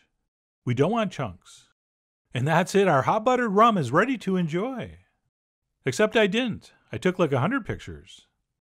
And if you end up doing that, as soon as you finish your Instagram, you'll probably want to give it one more stir before you start sipping. Speaking of which, let me go ahead and grab this and start doing exactly that. So cheers to you. And that, my friends, is probably my favorite hot drink of all time, holiday or otherwise. Okay, it is nice and rich, but not too rich. As well as this version I like is not too sweet. Alright, some formulas call for a ridiculous amount of sugar, but rum already has a nice sweet flavor, so I don't think we need a ton in the batter. And I think the real genius of this drink is the incredible texture and mouthfeel you get as you sip that hot, sweet, spicy mixture through that layer of butter on the top. And above and beyond that, it also acts as a layer of insulation and actually helps keep the drink warm. So we got that going for us, which is nice. And please be careful, it does not taste like there's an ounce and a half of hard liquor in here. But there is. But anyway, that's one hot buttered rum down. And that's how we do them if we're using the batter fresh. But if you make the batter ahead of time, which is a great idea, what we'll do is transfer it onto a piece of plastic wrap. And then we'll sort of shape it into a tube if possible, something close to like a stick of butter size. And then once we have that smoothed out to a nice uniform shape, what we'll do is simply transfer that into the fridge or freezer until we're ready to use it. At which point we'll pull it out and slice off portions like this. And again, the exact amount's going to be up to you. Okay, I'd say between one and a half and two tablespoons is just about perfect. But anyway, you decide. And that's it. We'll take a slice of that and pop it in our mug, and then repeat all the earlier steps. Oh, and fun fact Rum is America's oldest liquor, and this drink actually dates back to colonial times. And what you're going to do with that info, I have no idea. But anyway, I just thought you should know. Oh, and regarding the cream, some recipes actually call for using melted vanilla ice cream, which I think is kind of crazy, because why are we wasting good ice cream? Since melted ice cream is really nothing more than sweetened cream with a little bit of vanilla in it. Plus, it might have artificial ingredients and stabilizers. So to me, it just makes a lot more sense to go with the cream but anyway, I went ahead and mixed this one up exactly like the first, except in addition to the nutmeg garnish, I also decided to garnish with this amazing log and pine cones that Michelle found, along with the obligatory holiday poinsettia plant. And no, I don't usually do a lot of food styling, and basically this is why. Oh, and the reason I'm only showing you part of the plant is because we're still working on the kitchen, and I'm working on some open shelving, which is all taped up, and I didn't think it looked good, as you can see from this quick peek. But anyway, I tried. And yes, once everything's fixed up, we're going to do a nice reveal. But anyway, that's it. How I like to do hot buttered rum. We're officially calling it a festive holiday drink, but really, if we're being honest, this is a lot closer to a liquid dessert. And as much as I enjoyed that first one, for whatever reason, the second one seemed even more pleasurable. But no matter how many you drink, responsibly of course, I really do hope you give this a try soon. So please follow the links below for the ingredient amounts a printable written recipe, and much more info as usual. And as always, enjoy.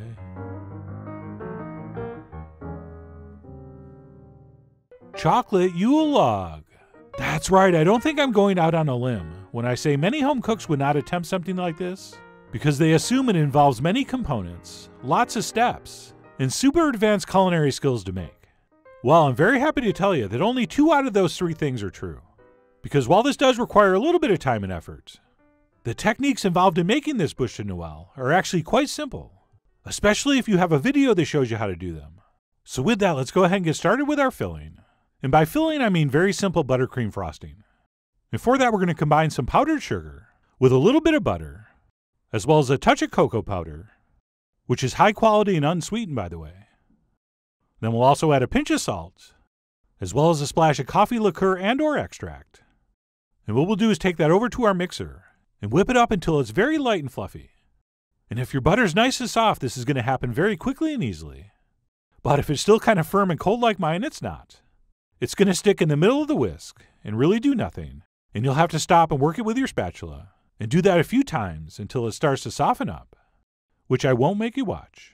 But either way, we're going to whip that on high speed until, like I said, it's very, very light and fluffy, and hopefully looks a little something like this. And while we could certainly use this as is, I'm going to go ahead and transfer this into a bowl and add one more ingredient a nice big spoon of mascarpone cheese which is a wonderfully rich Italian style cream cheese. And we'll go ahead and use our spatula to mix that in. And that's going to add a really nice little bit of tanginess in the background, as well as sort of lighten this up a little. And by the way, you know your frosting is pretty decadent when you're lightening it up with mascarpone. But anyway, we'll go ahead and stir that in, and then simply set that aside until we need it. At which point we'll move on to one more thing we need to do ahead of time.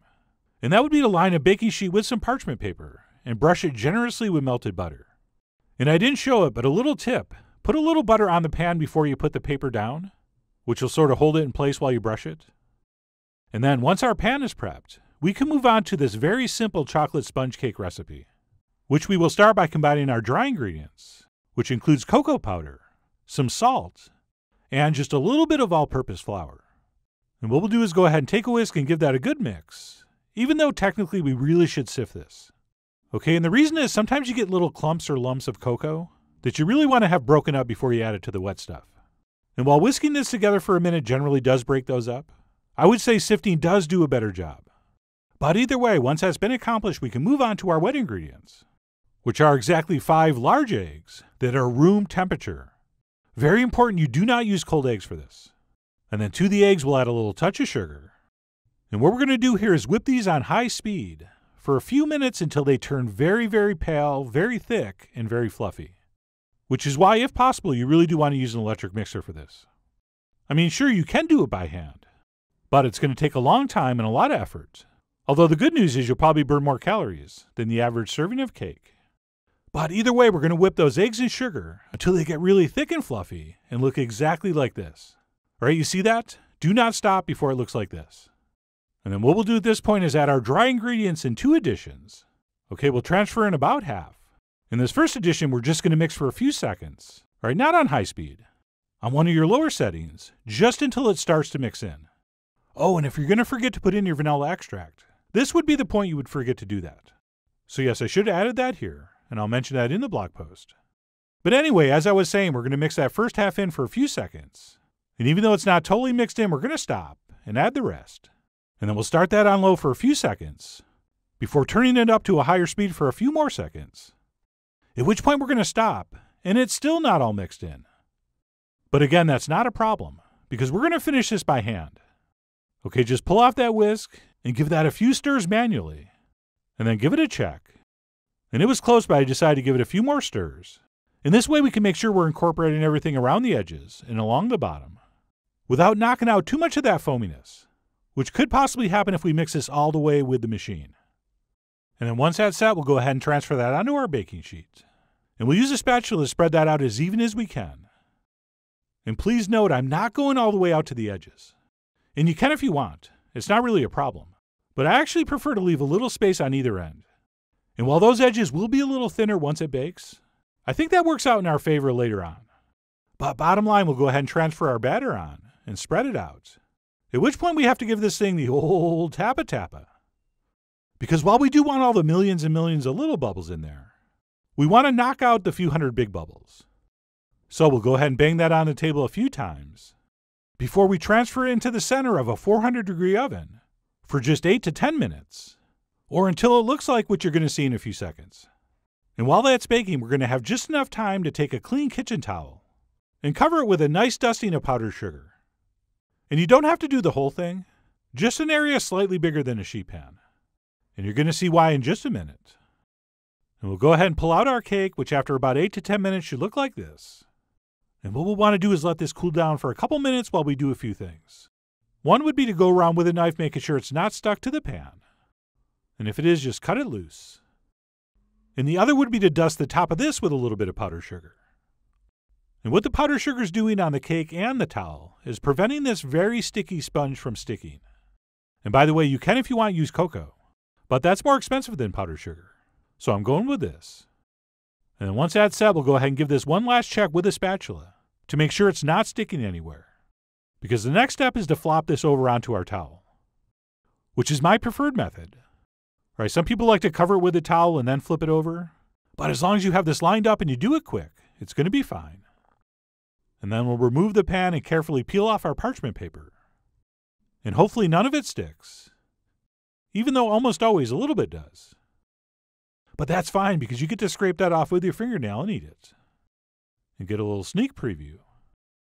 And then before we roll this up in our towel, we want to give it one more dusting of powdered sugar because I can't stress enough how much this stuff loves to stick to anything plastic, metal, wood, even a towel. So we'll go ahead and dust that again, and then very carefully, very gently roll this up. And because this is such a delicate sponge, we don't want to be pressing down as we do this. Okay, so use a very light touch. And we'll go ahead and roll that all the way. And then all we're going to do is let this cool down rolled up like this for 15 minutes. And by doing this, the sponge is going to have the memory of this roll so that when we unroll it and spread our filling on, we can roll it back up without it cracking. So this is a very key step. And as you can see, some of the sugar actually stuck to the towel, but none of the cake did. So mission accomplished. And at this point, we can go ahead and transfer on our filling and spread it out evenly. And to make that a little easier, what we like to do is dollop our filling here and there so that it's equally distributed before we start spreading it around. Okay, versus dumping it all in one spot and then trying to spread it all out evenly. And by the way, I thought I was being really judicious with the buttercream here, but as it turned out, I put on a lot more than I realized, as you'll see in the final shots, which is great if you're one of these frosting people. But I'm more of a cake guy. Anyway, the point is you spread on as much as you want. I mean, you are, after all, the me of this edible tree. So we will leave this cake to frosting ratio up to you. And then once we have that all spread out, we can go ahead and carefully start to roll this up. And the first few inches are the hardest. And if you need to use the towel to kind of help you along, go ahead. But once you get it started, you should be fine. And because our sponge has that quote unquote memory of being rolled, you shouldn't really have a problem with it cracking. And just like the first time we rolled it, don't press down too hard. Okay, use a nice light touch. And once we're happy with how that's rolled and shaped, we'll go ahead and dust the top with a little more sugar. Because why not? And then once that's dusted, we'll go ahead and wrap it in plastic. And please accept my apologies for speeding this up, which I hate to do. But I didn't have enough interesting things to say to fill up the time. But anyway, we're going to go ahead and wrap that in plastic. And I'm doing two layers, even though I'm only showing one. And once wrapped, we're going to transfer that into the fridge for a few hours or until it's completely chilled before we apply our bark. So we'll go ahead and pop that in the fridge. And while it's in there, I'm going to go ahead and make my chocolate ganache, which is nothing more than dark chocolate chips with hot boiling cream poured over it. And we'll let that sit like that for about a minute before stirring it together. And as usual with chocolate ganache, it looks terrible. But then you keep stirring, and eventually it looks awesome. And as that cools, it's going to thicken up. As you can see right here with a little bit I had left over from a different batch. And to me, that makes one of the great chocolate frostings of all time. And as you're about to see, makes a very beautiful bark. And then, assuming our chocolate Yule log is completely chilled, we'll go ahead and pull that out and unwrap it. And we'll cut a little piece off the end, officially to kind of clean it up, but unofficially because I wanted to taste it. And it was amazing. And by the way, I didn't like what that serrated edge was doing, so I switched to a straight edge knife. And what we want to do is make an angled cut about three inches or so from the end. Because what's going to happen once we transfer the main log to a parchment lined sheet pan is that we're going to apply a little bit of buttercream to that cut piece and sort of stick or press that onto the side to make it look like there's another branch coming off our log. And while this step's optional, I think it really does make for a much more impressive presentation. And then once that was set, I took the rest of my leftover ganache and used that to cover where that branch attached. And as far as working with the ganache, you can let it get really stiff like this, and as long as it's still spreadable, it's fine. But as you can see, as I continue covering this with the fresh ganache, I find this looser, runnier stuff a little easier to work with. All right, as long as it's not too runny. Okay, we don't want this running all over our pan. But either way, we're going to go ahead and apply a nice layer of our ganache over the entire log, all right, all the way down to the bottom. But of course, we will leave the front and side uncovered so we can see our beautiful swirl. And people can see that our log is roughly five to six years old. And just by spreading the ganache over like this, you're going to get a fairly bark like appearance. But for our final bark details, what we want to do is pop this in the fridge for about 15 or 20 minutes until that stuff firms up a little bit. And then using the tip of the knife, we can really give this thing the texture of actual bark. Okay, just drag that tip through all over. And since real bark is kind of rough and irregular, there's really no way to screw this up. But personally, I think the rougher and more irregular the better. And yes, this is exactly as fun as it looks, which is super fun. And then once we have those final details done, what we have to do again is chill this thoroughly before serving. So we'll pop that back into the fridge until we're ready to serve. At which point we'll transfer that onto some kind of attractive serving platter or a gorgeous piece of marble and proceed to dust the top with a little bit of cocoa as well as a little powdered sugar to make it look even more like an old log that has a little bit of frost. And while your guests will be very, very impressed if you serve it just like this, if you wanted to, you could also add some gingerbread dirt, as well as some meringue mushrooms, which are super easy to make. And maybe I'll show you how to do those. And for a final touch, maybe we'll add a few rosemary sprigs here and there to complete the scene. And that's it, our chocolate Yule log is done. And it totally looks like we knew what we were doing. I mean, if this doesn't impress your friends and family, I'm sorry, but your friends and family are too hard to impress. But just looking amazing is not enough. This also should taste incredible. So I went ahead and cut a slice to try it out. And I plated that up next to some meringue mushrooms, which are never not adorable. And despite it having a little too much buttercream for my taste, it really was fantastic. Right, that almost flourless chocolate sponge is just sweet enough and still very moist, and paired perfectly with that very simple mocha buttercream. So, above and beyond its show stopping appearance, I really did enjoy the taste and texture of this as well. Oh, and I should mention before this gets rolled up, you can actually soak the sponge with a little bit of liqueur or liquor, just like I'm doing here with some Kahlua. So if you did want to adult this up, you can brush or drizzle that onto the sponge itself, or just add some on when you slice it and serve it like this. So just a little bonus tip for how to help achieve those rosy Santa Claus-like cheeks. But anyway, I'll finish the rest of this slice off later. Right now I have to take a little mushroom break. Make that a mushrooms break. But anyway, that's it. My method for making the classic holiday bûche de Noël. Like I said in the intro, not really that hard to make. Although it does take a fair amount of time and effort. But when you're done, it looks like it takes a lot of time and effort. Which really is the point of a special holiday dessert. So I really do hope you give this a try soon. Head over to foodwishes.com for all the ingredient amounts and more info as usual. And as always, enjoy. The Queen's Christmas Pudding. That's right, I'm not sure when or even if I'll be asked to make Christmas pudding for the Queen. But if that happens, this is the one I'm going to make her, since it really is spectacular. Oh, and if you're wondering why they call this a pudding and not a cake, well, that's because our British friends call every dessert a pudding, except pudding, which they call custard. But in any event, let's go ahead and get started by chopping up some dried fruit, which for me will include some pitted medjool dates, as well as some Turkish apricots. And a little tip here to help prevent the fruit from sticking to the knife, if we take a little bit of vegetable oil on our finger and rub it on both sides of the knife like this, and be careful, don't cut yourself. That's going to help our blade from getting all gummed up. All right, it's still going to stick a little bit, but not quite as much. And yes, you can use a food processor if you want. But for me, the texture is not going to be as good because while some of the pieces will be chopped nicely, a lot of them will get pureed into a sticky paste which is not really what I want, or I assume the queen wants. But either way, we'll go ahead and chop that up fairly small until we have something that looks like this, at which point we'll go ahead and transfer that into a nice big mixing bowl and proceed to add the rest of our dried fruit, which for me will include some currants, which are basically like little tiny raisins. And then I'm also going to add some actual raisins, which are basically just like extra large currants. And then I'm also going to do a whole bunch of dried cranberries, which I'm not a huge fan of normally, but that tartness is very important in this. And then we'll definitely also do some candied ginger, which I chopped up nice and small. And that's it. Once our bowl's been fully fruited, we'll go ahead and pour in two or three tablespoons of your favorite whiskey. Okay, I'm using a nice bourbon here, but even a bad bourbon would be good.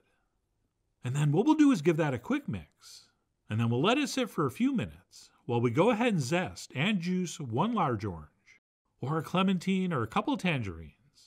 And we'll go ahead and add that zest and juice and stir that in as well. And then in a lot of Christmas pudding recipes, they want us to wrap this up and let it sit like overnight, so that fruit absorbs the liquor and moisture from the orange. But that is not how I pudding, and I'll explain why later. But what we are going to do is pour in a whole bunch of melted butter, and then we'll take our spatula and give this a stir until everything's evenly coated. And yes, in the classic recipe, the fat used here would be suet, but I was fresh out, and I assume you don't have any sitting around. But that's fine, as you'll see, the butter works beautifully. And what we'll do once that's been mixed in is stop and add one beaten egg, a splash of heavy cream, as well as some buttermilk. And then we'll take our spatula and give all this a stir. And if you can't find buttermilk, no problem. You can just use regular milk, but I do like that little bit of extra tanginess the buttermilk gives you. So if you do use milk, maybe squeeze in half a lemon to compensate. But anyway, once that's mixed up, we'll go ahead and add the rest of our ingredients, which would be a little bit of salt, some chopped pecans, or the festive nut of your choice, some dry breadcrumbs, and then last but not least, we will add some all purpose flour. And that's it. We'll simply take a spatula and give this a mix until we formed a very thick, very sticky batter. Oh, and by the way, traditionally fresh breadcrumbs are used, but I think using dry is a lot easier. And as long as our pudding has enough moisture in it, which ours does, it is not going to be a problem, and I think you actually get a better texture. And that's it. Once our batter's mixed, we will transfer it into a very, very well buttered bowl. All right, the size and shape are up to you. We just need to be able to get it in and out of the pot we're going to steam it in. And what we'll do is transfer that in and press it down, and then we'll smooth out the top, at which point we'll place over a circle of parchment paper. And to make that, simply fold it up like you're doing a paper airplane, although it's really more like a paper rocket, and then simply cut it about the same length as the radius. No, not the diameter, the radius. And that's it, we'll just open it up and press it down. And that's going to protect the top of our pudding. From what? I'm not sure. But that's just how it's done. And then once that's been parchment papered, we're going to stretch over two pieces of plastic wrap. Right there's one, and there's two. And then we'll place this on top of a third piece that's nice and long, and we will bring those ends up and over to really hold everything nice and securely. And by the way, in case you're wondering, and I'm pretty sure nobody is, but in the business we call that cater wrapped. And then after the plastic, we will place over two pieces of foil. Right there's one, and there's two. And then, just to hedge our bets, we'll go ahead and tie a string around this nice and tight, which means we have to wind that end in at least three or four times so that we have enough friction so it doesn't loosen as we finish the knot. Oh, and I should mention, some people make like a handle on this with the string so that they can pull it out of their steaming pot, but I've never liked that idea, and I always thought it was a better idea to just find a big enough pot. And that's it, we'll trim off the excess, and if we wanted, we could start steaming this pudding right now but since it takes four hours, I prefer to pop it in the fridge overnight and then cook it the next day, which gives our dried fruit time to hydrate. And that's why earlier I didn't need to let my fruit soak with that liquor and the orange juice. So I did pop mine in the fridge overnight, and then the next morning I was ready to steam in this Dutch oven. And I like to place some rosemary sprigs at the bottom so that our glass bowl is not touching the bottom. And you can do the same thing with chopsticks, but then you don't get the aromatherapy and your kitchen will not smell as good. Unless, of course, you have scented chopsticks, which would be super weird. But anyway, we would carefully place our pudding over the top, and then we'll fill this pot about halfway up with water. And if you're wondering why I don't want that bowl touching the bottom of the pot, I'm really not exactly sure. It just bothers me somehow. And I feel like it's better if there's some water circulating underneath. And then what we'll do once that's filled up about halfway is turn our heat on to high, and we will cover that tightly and we'll wait for that to start to boil. And once it does, and we're getting lots of lovely steam, we'll go ahead and lower our heat to medium, and we will steam this covered for, believe it or not, four hours. And during that time, there's absolutely nothing to do except check once in a while to see if you have to add more water. Right, that's going to depend on how tight your lid is. So go ahead and take a peek every hour or so, just to be safe. And that's it after steaming for four hours. Our pudding should be cooked. Oh, and don't worry, all that stuff you see is just from the rosemary, which, as I mentioned, made my kitchen smell amazing. Take that, scented candles. And then what we'll do is grab a couple towels and we'll very, very, very carefully lift this out. And then what we're hoping to see after we snip off the string and take off the foil is some very tightly stretched, concave plastic wrap. No, not convex, concave. Which means our seal is tight and no water or steam got into our pudding. And then, as far as the dismount goes, we will place a plate over the top and then very carefully turn this over to reveal the stunning beauty that is a properly steamed Christmas pudding. But wait, it gets better. Since what we'll do next is paint this all over with some maple syrup, which is what I use. Okay, in England they use golden syrup, since they don't have any trees left. Okay, they cut them all down to make ships and cricket bats. But either will work, so you decide.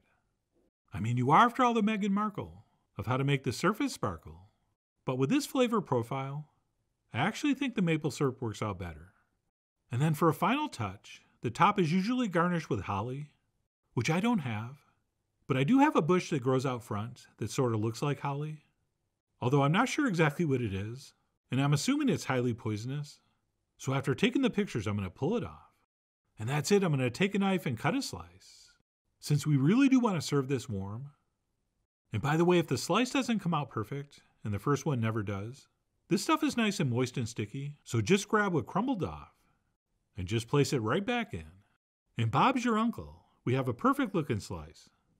And then, since I had it sitting right there, I went ahead and applied a little more syrup before finishing this with a nice scoop of vanilla ice cream. Even though a heavy cream or a creme anglaise would be more traditional, but you know what happens when you freeze creme anglaise? It turns into ice cream. So by using ice cream, you get both. But anyway, let me grab a fork and dig in. And I'll start with those crumbly pieces in the front. And that, my friends, is one ancient and amazing dessert. Okay, what I love about this recipe, which I've adapted from a Jamie Oliver recipe, is that it doesn't contain any sugar, and all the sweetness is coming from the dried fruit. And to be honest, I really don't like dried fruit, but in this format, steamed with all those other ingredients, including the booze and the citrus and the nuts, it really does become something very special and delicious, especially when it's paired with the ice cream, or as we'll call it after it melts, creme anglaise. Oh, and besides not adding any sugar, you'll probably notice we didn't add any other spices. All right, no cinnamon, no mace, no allspice, no nutmeg, which is another trick I borrowed from my good friend who I've never met, Jamie Oliver. I mean, add a pinch or two of whatever you want, but I really don't think it needs it. I think it is absolutely perfect as is. So if anyone has the Queen's number, please leave it in a comment below the video, and I'll shoot her a text, and I'll see if she'll let me come over and make this for her. Whether it's on Christmas or some other holiday like, I don't know, 4th of July. Hey, no hard feelings. But no matter when this is served, or what the occasion is, it really does go down a treat, which is why I really do hope you give this a try soon. So please follow the links below for the ingredient amounts, a printable written recipe, and much more info as usual.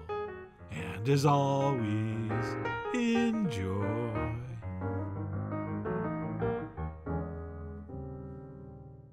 Gingerbread cake with lemon glaze. That's right, I'm going to show you this classic holiday treat, and when you taste it, you'll be like, there's no way something this simple could come out this delicious. But it does.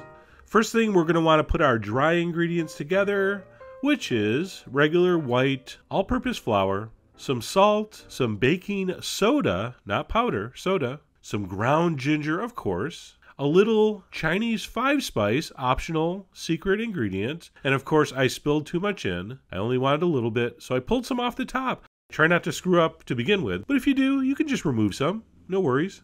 All right, and last but not least, some ground cinnamon and that's going to get stirred with a whisk so all those dry ingredients are combined evenly. Alrighty, at that point we're going to add some white sugar and molasses. So dark, so mysterious, so slow. Alright, come on, hurry up and drip. Alright, after the molasses, we're going to put some vegetable oil and an egg, one beaten egg, and we're going to take our whisk and we're going to stir that together.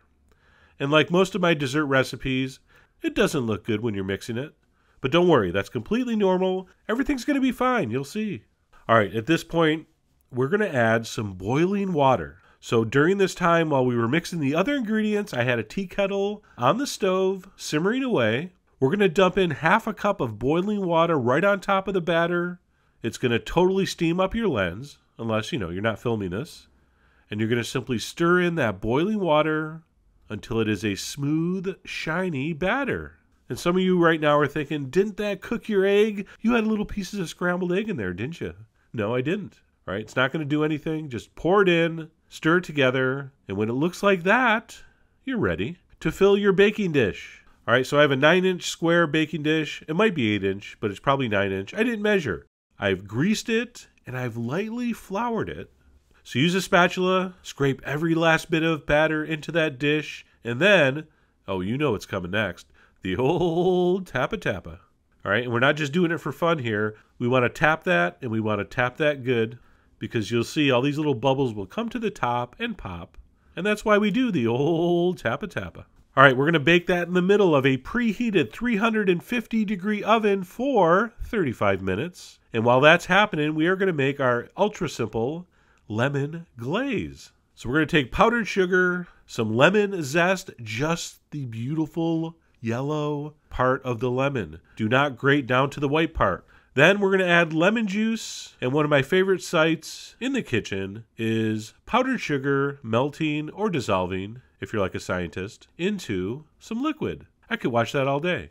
Now I put this on very low flame and I just stir it until the sugar dissolves and it's warm to the touch. Not hot, just warm. In fact, you could probably skip this step and just mix it and not even put it over heat, but I've always done it over a small flame just to warm it through. So that's what I do. It only takes a minute. When the sugar's dissolved and it's warm to the touch, turn it off and reserve until needed. All right, our glaze is done. It's been 35 minutes. I pull out my gingerbread. And how do I know it's done? Because a bamboo skewer comes out clean. By the way, is that a gorgeous brown color or what? I wish I had some pants that color. People would be like, hey, cool brown pants. And I'd be like, uh, they're not brown, they're gingerbread. All right, last step here. While the cake is still hot, you're to pour over your lemon glaze right from the pan. Just drizzle it over the top as evenly as you can. Then take your spatula and just help it along. If there's any dry spots, just push some of the glaze over. Of course, we want to spread this as evenly as possible, but don't worry too much. As this sits, it will all absorb into that warm cake and it will be perfect, trust me. Once this is cooled completely, that means all the way, and it's not hot anymore. You can slice it and serve it up. All right, you could do a little whipped cream if you want. You could do a little scoop of ice cream. Really up to you. There's no bad way to eat this cake. And it's funny, a lot of your classic holiday desserts are actually super easy, like this one. So even if you're not a big baker or dessert maker, you can certainly pull this one off. Anyway, there you go. Gingerbread cake. I'm going to take a bite. So, so delicious. Not too sweet, just spicy enough, just such a beautiful aroma. So, anyway, I hope you give this classic holiday treat a try, whether it's for Christmas or just any time you want a delicious dessert. So, head over to foodwishes.com for all the ingredient amounts and more information as usual. And as always, enjoy